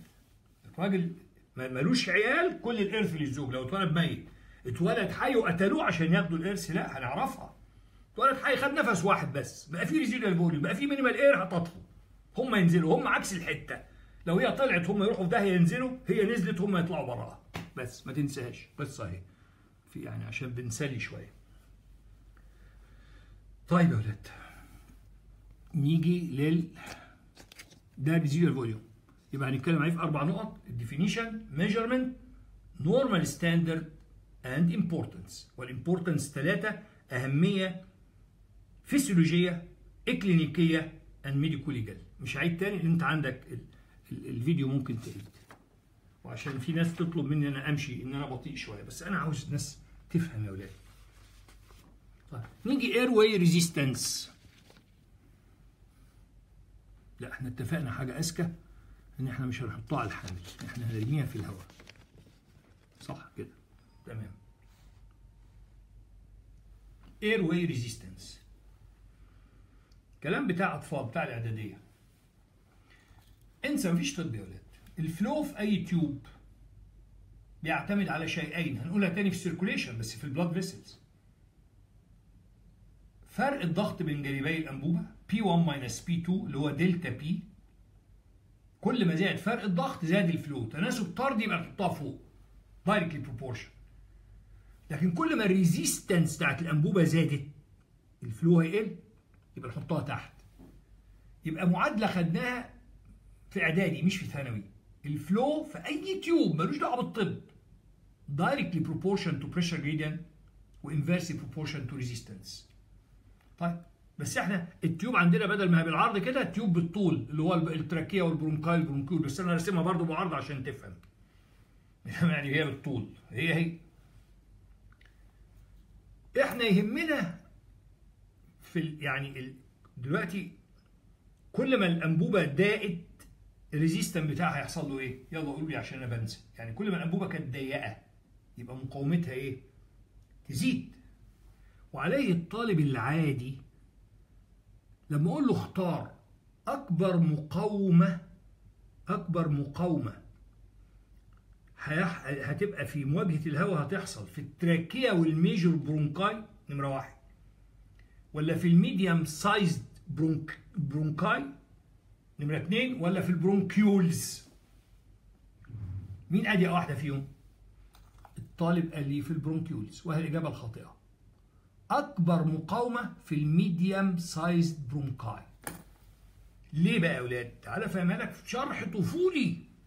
لأن إحنا بيهمنا مش كل bronchus على حدة إنما بيهمنا مجموع ال bronchi ال bronchioles اللي هم ال total cross section area وبشرحها بطريقة لا تنسى. بص يا أولاد اعتبر دي الايه ال medium size bronchi وده ال bronchioles أهي أدي أهي. حلو؟ نفس الهواء اللي هيمشي هنا هيمشي في ال bronchioles دي. اللي هيمشي في ال medium size bronchi هو هيمشي هنا. يبقى نفس كمية الهواء اللي هتمشي هنا هتمشي هنا. لما ال bronchioles كل واحدة على حدة أضيق كل واحدة على حدة أضيق كل واحدة على حدة أضيق كل واحدة أضيق. لكن لما جمعهم مع بعض ال total cross section area بتاعت ال bronchioles مع بعض أوسع من ال medium size bronchus فهمت الفكرة؟ عشان كده معظم ال resistance سؤال مهم جدا في ال MCQ بيلقاها الهواء مش في ال bronchioles مش في الشعيبات. آه الشعيبات أضيق. كل على حدة اضيق بس لما تجمعهم مع بعض بيبقى فرصه الهواء المرور فيهم أسهل من إنه لأن bronchus واحدة بتؤدي ل several bronchioles. آه كل واحد اضيق بس هما مع بعض أوسع من ال medium size bronchi. ده واحد من أشهر أسئلة وهقوله هو تاني في ال circulation هقول مقاومه أكتر في ال arteriole بدل bronchiole هيقول arteriole ولا في ال capillary. اوعوا تغلطوا بقى. نفس الدم اللي ماشي في ال arteriole هيمشي في كذا capillaries اما آه كل capillary على حده أرفع كل capillary على حده أرفع كل capillary على حده أرفع. لكن لما تجمعهم مع بعض يبقوا أوسع من ال arteriole تجمع ال bronchioles مع بعض أوسع من ال medium size bronchi. يبقى هنا معظم المقاومة في ال medium size bronchi. not bronchioles سؤال MCQ مهم. وهي ليه؟ لأن ال resistance بتتناسب عكسي مع مع ال cross section area يعني كل ما ال cross section area زادت أهي ال resistance بتقل. وكل ما قلت ال resistance بتزيد. ده فكرة الجدول ده. عارف ال bronchioles بقى بتبتدي فين؟ يعني عند ال generations اللي في الآخر أهي. شوف ال cross section area زادت. فتبقى فاهم هذا الكلام. طيب في هذا السؤال في سؤال MCQ مهم. وعليه إيه اللي يقلل ال resistance لو حصل bronchodilatation لل medium size bronchi وايه اللي يزودها لو حصل bronchoconstriction فعاوزين ندرس مع بعض إيه اللي يزود وايه اللي ينقص في الحاجات دي. فقول معايا أنت إيه الحاجات اللي تعمل bronchodilatation وايه اللي تعمل bronchoconstriction أنا هساعدك بأول واحدة. sympathetic و parasympathetic اللي هو ال vagus. مين في قصة محمد علي كلي كان بيوسع الشعب عشان ناخد هواء أكتر؟ sympathetic بيعمل bronchodilatation وعشان كده خد بالك هيجي لك سؤال بطريقة ثانية جاوبه انت. يبقى لما نوسع الشعب ال work of breathing مجهود النفس يحصل له إيه؟ يقل لأن مفيش resistance يبقى ممكن يجيب لك السؤال بطريقتين. ال sympathetic بيعمل bronchodilatation ربي اشرح لي يا صدري. عمل لي bronchodilatation وبالتالي قلل مجهود النفس. ال work of breathing إحنا مش محفوظات مش اسطوانات. ال vagus العكس. طب سؤال داخل سؤال بقى. نوع ال receptor اللي على ال bronchi بتعمل relaxation تبقى البي بي beta inhibitory beta 1 ولا بيتا 2 بيتا 2 بيتا 2 ال1 على ال heart طب حاجة تاني جميلة. لو أنا ال lung volume زاد ال bronch ال bronch ال bronchi بتوسع. عارف ليه؟ ده. هي الشعب أهي. ال lung دي عبارة عن زي الأساتك كده. فلما توسع الرئه كأنك أنت شديت الاستك اليمين والاستك الشمال فال bronchi يحصل لها إيه؟ توسع. يبقى ال bronchi بتوسع باتساع حجم الرئة لأن لما بوسع الرئه بوسع الرئه الرئه وسعت فبتشد الأساتك دي على ال bronchi اللي في النص توسعها. أنا أنا عندي تأمل يا أولاد. هو أنا وسعت الرئة ليه؟ 100% محتاج هواء أكتر. شوف العظمة الإلهية؟ أنا وسعت الرئة.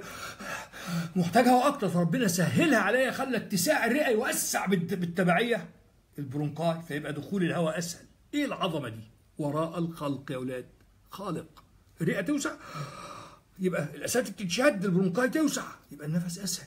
أنا عاوز هواء أكتر. فربنا سهلها عليا. خلى. اشرح لي يا صدري. طيب. دي حاجة. نيجي بعد كده. طب إيه إيه اللي بيعمل broncho؟ constriction إحنا قلنا يس صح؟ وحاجة لطيفة جدا. لو قل ال carbon dioxide في الجسم إحنا قلنا إن ال carbon dioxide ده لو قل في الجسم ده اللي بيعمل carbonic acid اللي هو أهم حاجة بت regulate ال pH في جسمنا. إن الرئة ربنا خلقها أساسا مش to supply oxygen اللي ما حضروش معايا المحاضرة الأولانية أساسا تو ريموف ال carbon dioxide الكربون دايوكسيد أهم. فلو الكربون دايوكسيد قل في الجسم يا نهار أبيض! يعني مع يعني هيتغير pH ال acids مش كفاية في الجسم أنا عاوز certain amount of acids immediately ربنا خلى نقص ال carbon dioxide يعمل bronchoconstriction فتحبس ال carbon dioxide جوه الجسم فكميته ترجع للكمية الطبيعية. يبقى تاني لو ال carbon dioxide قل يبقى يحصل bronchoconstriction فيتحبس جوه فكميته تزيد تاني. إيه العظمة دي؟ هل دي طبيعة يا ولاد بتخلق؟ وفاهمه إن ال carbon dioxide ده أهم من الاكسجين ظبطه أهم من الاكسجين لأن هو اللي بيضبط البي اتش and life is compatible. الحياة ممكنة.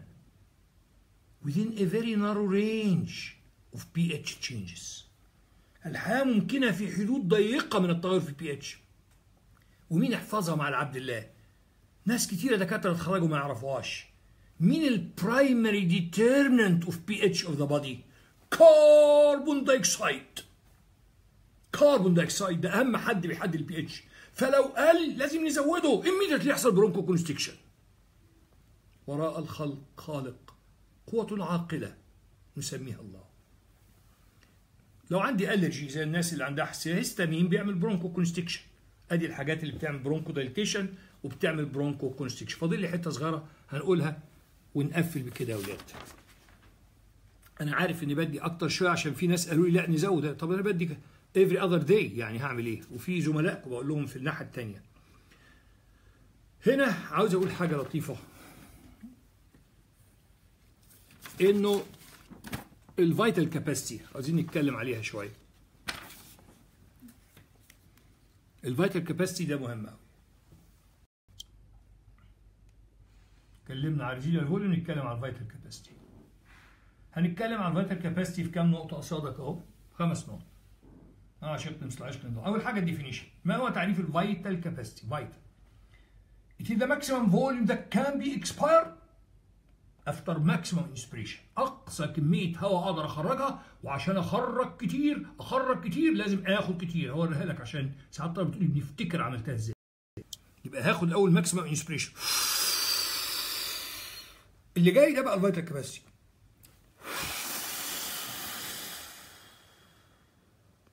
يبقى ال maximum volume expired after maximum inspiration. ده كام volume؟ 3 بص هو هاخد اول 3000 أهو. يلا اللي جاي ده ال vital capacity 3000 500 1100 اللي هو ال expiratory reserve volume. يبقى هو عبارة عن ال inspiratory reserve 3000 ال tidal volume 500 وال expiratory reserve اللي هو 1100 measurement نقيسه إزاي؟ الاحجام كلها بتخرج يبقى بال spirometer طب normally كام؟ 3500 و1100 يبقى 4600 ده يبقى عبط ليه بقى؟ لأن 100% ال vital capacity ده إحنا بنتكلم على adult male average weight لكن لو واحد اضخم هيطلع أكتر واحد أقل صغير حجمه هيطلع قليل بس مناسب لحجمه فاتفق في الطب إن إحنا الحاجات اللي بتختلف بحجم الجسم بحجم الجسم نقارنها بال surface area وهنبقى نتكلم السنة الجاية إزاي بنعرف ال surface area بتاعت الجسم. يعني لازم تتحسب per square meter surface area أنا بقول معلومة تبقيها في ذهنك ما حييت. أي حاجة تتأثر بالحجم هنقارنها نقارنها بال surface area طب 100% ال vital capacity بتاع واحد وزنه 50 كيلو غير واحد عضلات كده وزنه بتاع 100 كيلو. فعشان كده في ال male ده بقى شوف ال normal standard ما قلناش 4600 2.5 لتر لكل متر مربع. والفيميل 2 لتر انها أضعف شوية لكل متر مربع. وبدي مثال. واحد 5 متر ومسطحه 2 متر مربع. يبقى المتر بينوبه بيخصه قد إيه؟ 5 وهو مسطحه 2 كل واحد بينوبه 5 على 2 2 ونص. شخص صغير بيطلع 2 ونص بس بس مسطح جسمه واحد.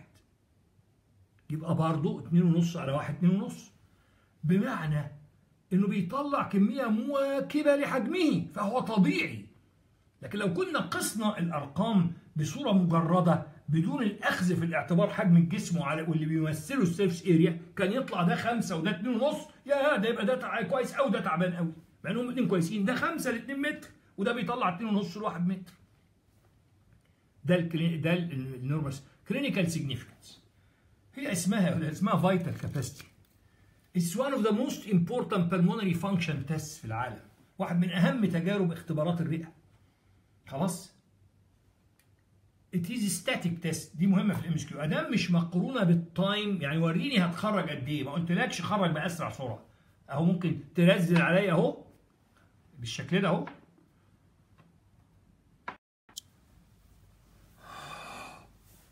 وبعدين بقى اطلع إيه؟ ببطء.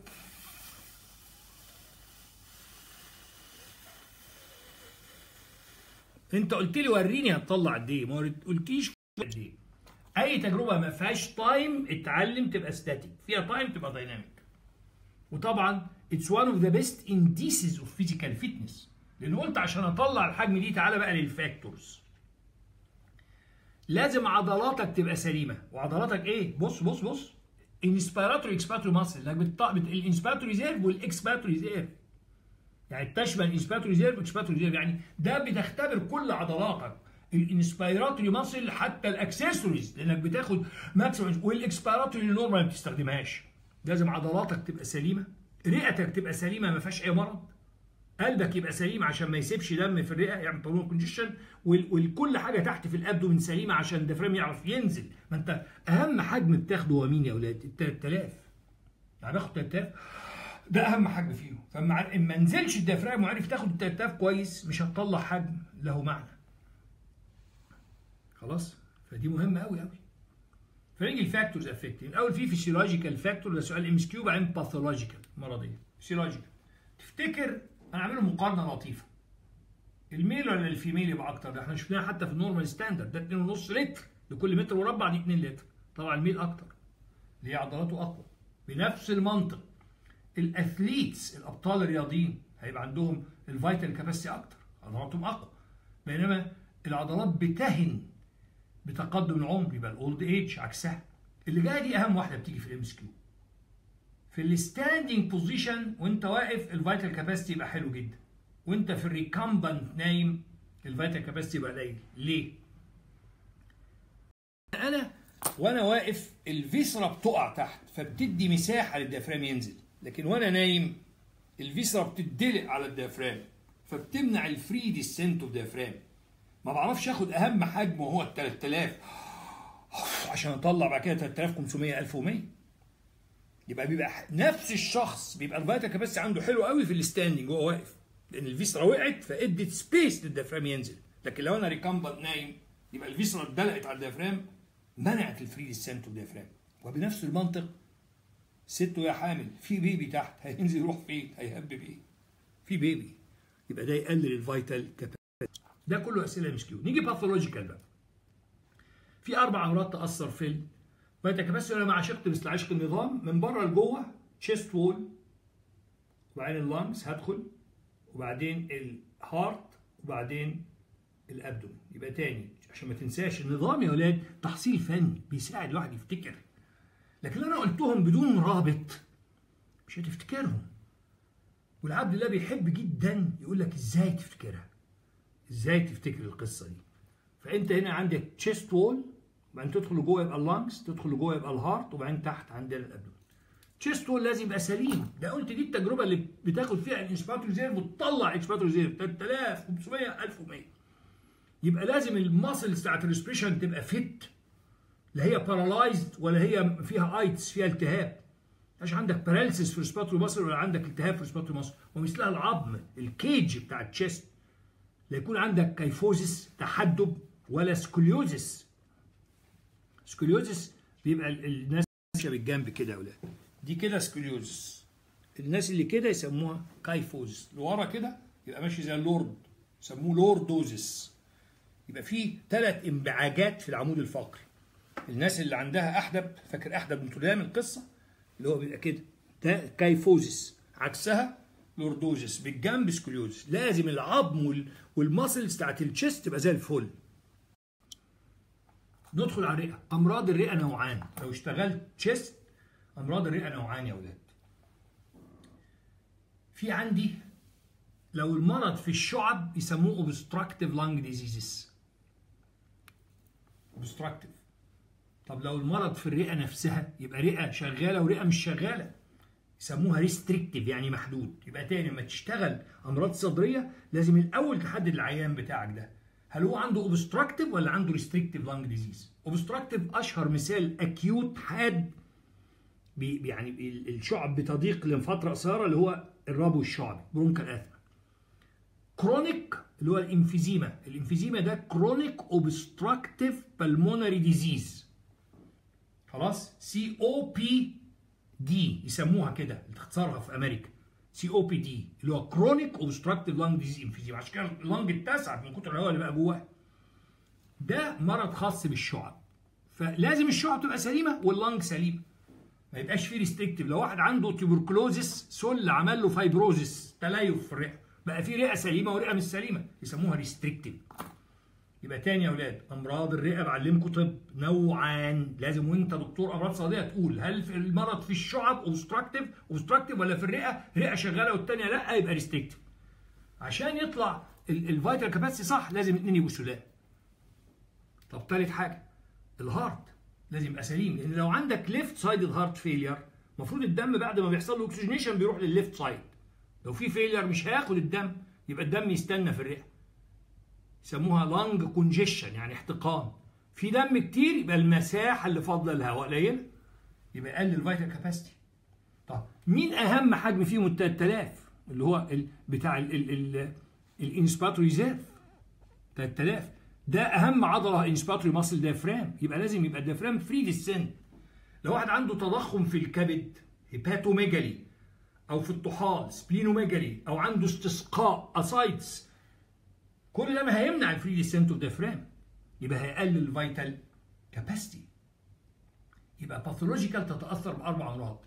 لازم العظم آسف ال chest wall من جوه لبره ال lungs ال heart ال abdomen أول اتنين فيهم اتنين. ال chest wall muscles bone chest wall muscles bone. ال lung اتنين. obstructive و restrictive obstructive و restrictive وبعد ال heart ما يبقاش فيه heart failure وال abdomen ما يبقاش فيه space occupying بتمنع ال free descent of diaphragm يبقى ده موضوع ال vital capacity فاضل لي معلش أنا عارف طولت كمان 5 minutes عشان عاوز أقف عند ال dead space لأنها حتة مرتبطة تماما بال vital capacity بس hopefully نلاقي الايه الورقة بتاعتك بس هي لقيناها.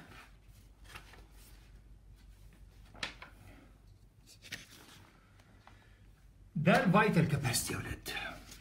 مرتبط بال vital capacity لو جالك سؤال في حاجة اسمها forced vital capacity الأوائل يكتبوها مع ال vital capacity ومتداخل معاها نعرف دلوقتي بعد شوية timed vital capacity إيه ال forced vital capacity من اسمها forced vital capacity يعني أنا ما يهمنيش بس أنت بتطلع قد إيه.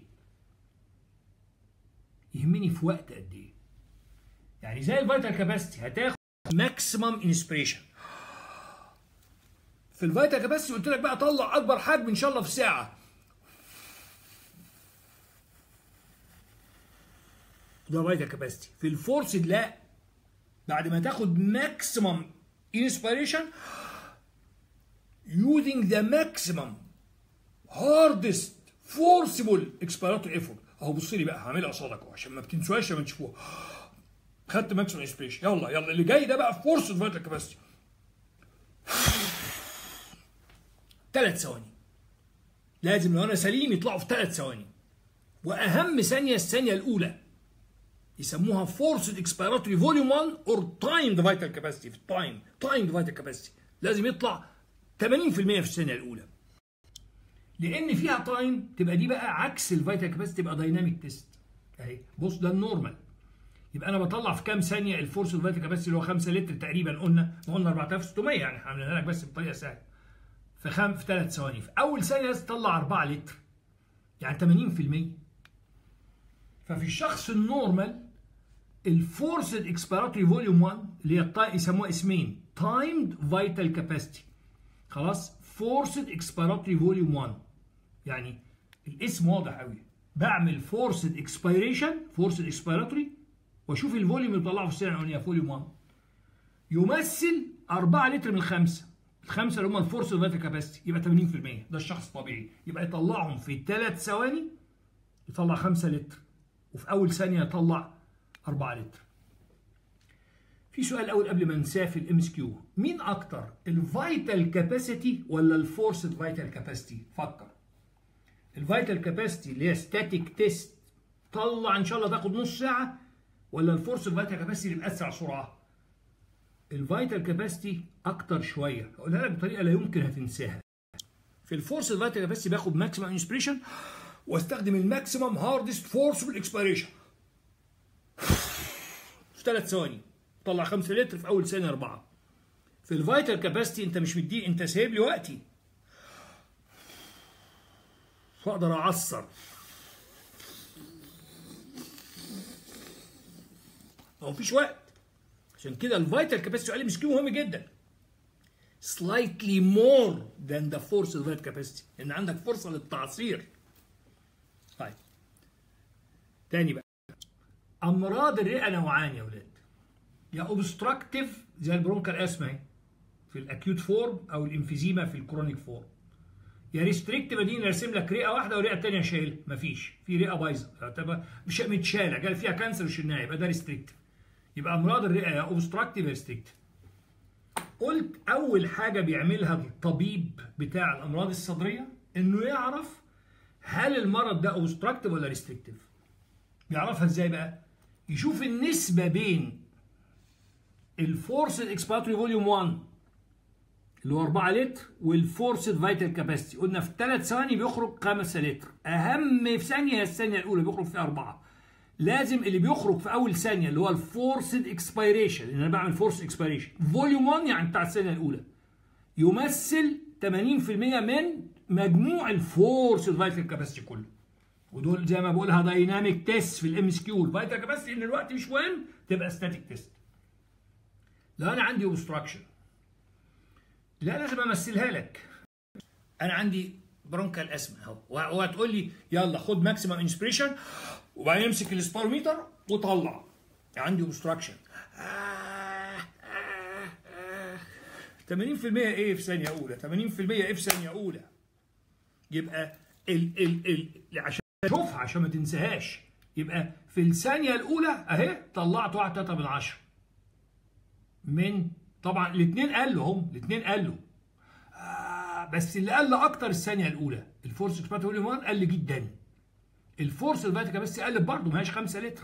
حسب العيان ده طبعا ما تحفظش الأرقام دي. إحنا جايبين عيان والسلام. يبقى هنا 3 1 من 10 1 3 من 10 الأرقام مش مهمة بتختلف من مريض لمريض. يبقى الأكتر حاجة تأثرت لما ال forced expiration volume 1 قلت جدا. ولكن ال forced vital capacity قلت شوية. خلاص؟ وعليه النسبة العامة اللي فوق قل أكتر تقل. ده في ال obstructive يعني تملي حتى بقولها بطريقة لطيفة عشان ما تنسوهاش. لما طالب يجي لي المحاضرة متأخر فأقول له يا ابني أنت اتأخرت ليه؟ يقول لي السكة كانت زحمة. فلما يبقى السكة زحمة في obstruction السكه كانت مقفلة لا تسائلني على ال time time إيه اللي هتسالني عليه؟ وكان فيه obstruction الرئة فيها obstruction يبقى تقول لي time time إيه اللي هتسألني عليه؟ فال obstructive lung disease بتقلل ال ratio ما بين أول ثانية والثلاث ثواني اللي هو ال forced expiration volume 1 وال forced vital capacity الاثنين قلوا بس دي قلت أكتر. تعالى بقى في ال restrictive لو أنا شايل رئة برضه هيقلوا.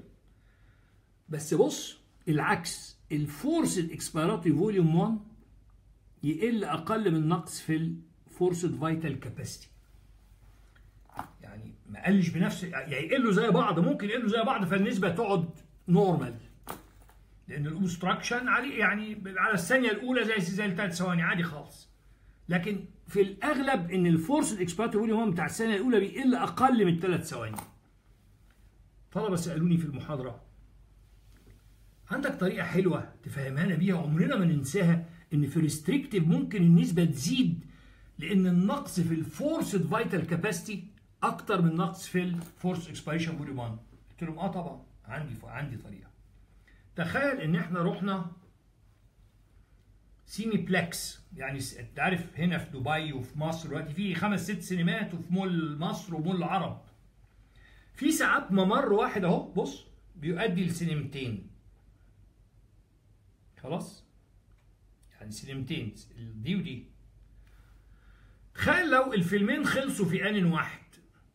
فاللي طالعين من السينما دي واللي طالعين من السينما دي بيستخدموا نفس الممر. فرصتهم للخروج أحسن لو سينما لسه مش شغالة ما طلعش منها حد ودي يعني الممر اللي كان معمول لسينمتين بقى معمول لسينما واحدة. يبقى الفرصة بقت أحسن. فاهم ليه؟ يبقى لما رئة تتشال من ال equation من اللعبة ده بالعكس فرصة خروج آه الرئة هتطلع اتقسم يعني 100% الكميه انخفضت للنص. خلاص مع ال forced vital capacity نزلت للنص. ما قلناش حاجة لأنها رئة واحدة. فاهم؟ إنما فرصة إن من النص ده من النص ده يطلع أكتر من 80% في الثانية الاولانيه فرصتها أكبر. لأنه دلوقتي هي لوحدها بتستخدم الممر. كل الممرات دي لوحدها مفيش رئة تانية. ففي فرصة الممر اللي كان معمول للرئتين لسينمتين بقى دلوقتي بيفرغ سينما واحدة بقى تفضي أسرع فيخرج أكتر من 80% في الثانية الأولى. طبعا لما تحسب الكمية ككل نقصت لأنها من رئة واحدة لكن في الزمن ما نقصتش قوي إن خرج أكتر من 80% من النص. عشان كده في ال restrictive lung disease يا إما الاثنين ينقصوا زي بعض فالنسبة تبقى normal يا إما الأهم إن ال forced expiratory volume 1 اللي بيستخدم في ثانية واحدة لأن رئة واحدة بتستخدم نفس الممر فممكن تطلع تطلع أكتر من 80% في الثانية الأولى وعليه ما تنقص بنفس المعدل دي نقصت للنص بالظبط دي أقل شوية بالنص إنك خدت أكتر من 80% من النص فيبقى ممكن تزيد. ده إزاي بنفرق يا أولاد ما بين ال ال ال ال ال obstructive وال restrictive lung diseases إزاي يمكن التفرقة ما بينهما. يبقى قلنا في عجالة خلاص كده قفلنا. ال vital capacity يا أولاد لما تيجي الأوائل هتتكلم الأربع نقاط الأساسية. ال definition it is the maximum expired after maximum وانها ثلاث أحجام. ال measurement كلهم بيخرجوا يبقى بال spirometer. لأن الأحجام الناس بتختلف فللأوائل بنقيسها مقرونة بال surface area في ال male 2.5 لتر لكل متر مربع وفي ال female 2 لتر. clinical significance إنها it's a measure of physical fitness. It's one of the most important pulmonary function tests. عشان كده حتى قلنا سموها vital capacity. النقطة الخامسة ال factors physiological و pathological ولا تنسى ال physiological تاخدها من بره لجوه.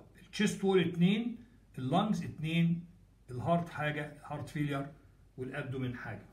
للأوائل أكتر بقى مش بس يعني يتكلموا على ال vital capacity يتكلموا على ال dynamic test اللي هو ال forced vital capacity لو قلت لك بأسرع وقت هتطلع 5 لتر في 3 ثواني وأهم ثانية الثانية الأولى هتطلع 80% في الشخص الطبيعي يبقى النسبة ما بين الثانية الأولى forced expiration volume 1 وال total forced vital capacity تبقى 80% عندما يكون هناك obstruction لا تسائلني عن ال time ما أقدرش أطلع في في في ثانية 80% فال forced expiration volume 1 هيقل جدا مقارنة بال forced vital capacity وبالتالي ال ratio تقل في ال obstructive تقل في ال obstructive بينما في ال restrictive بالعكس بقت مصلحة.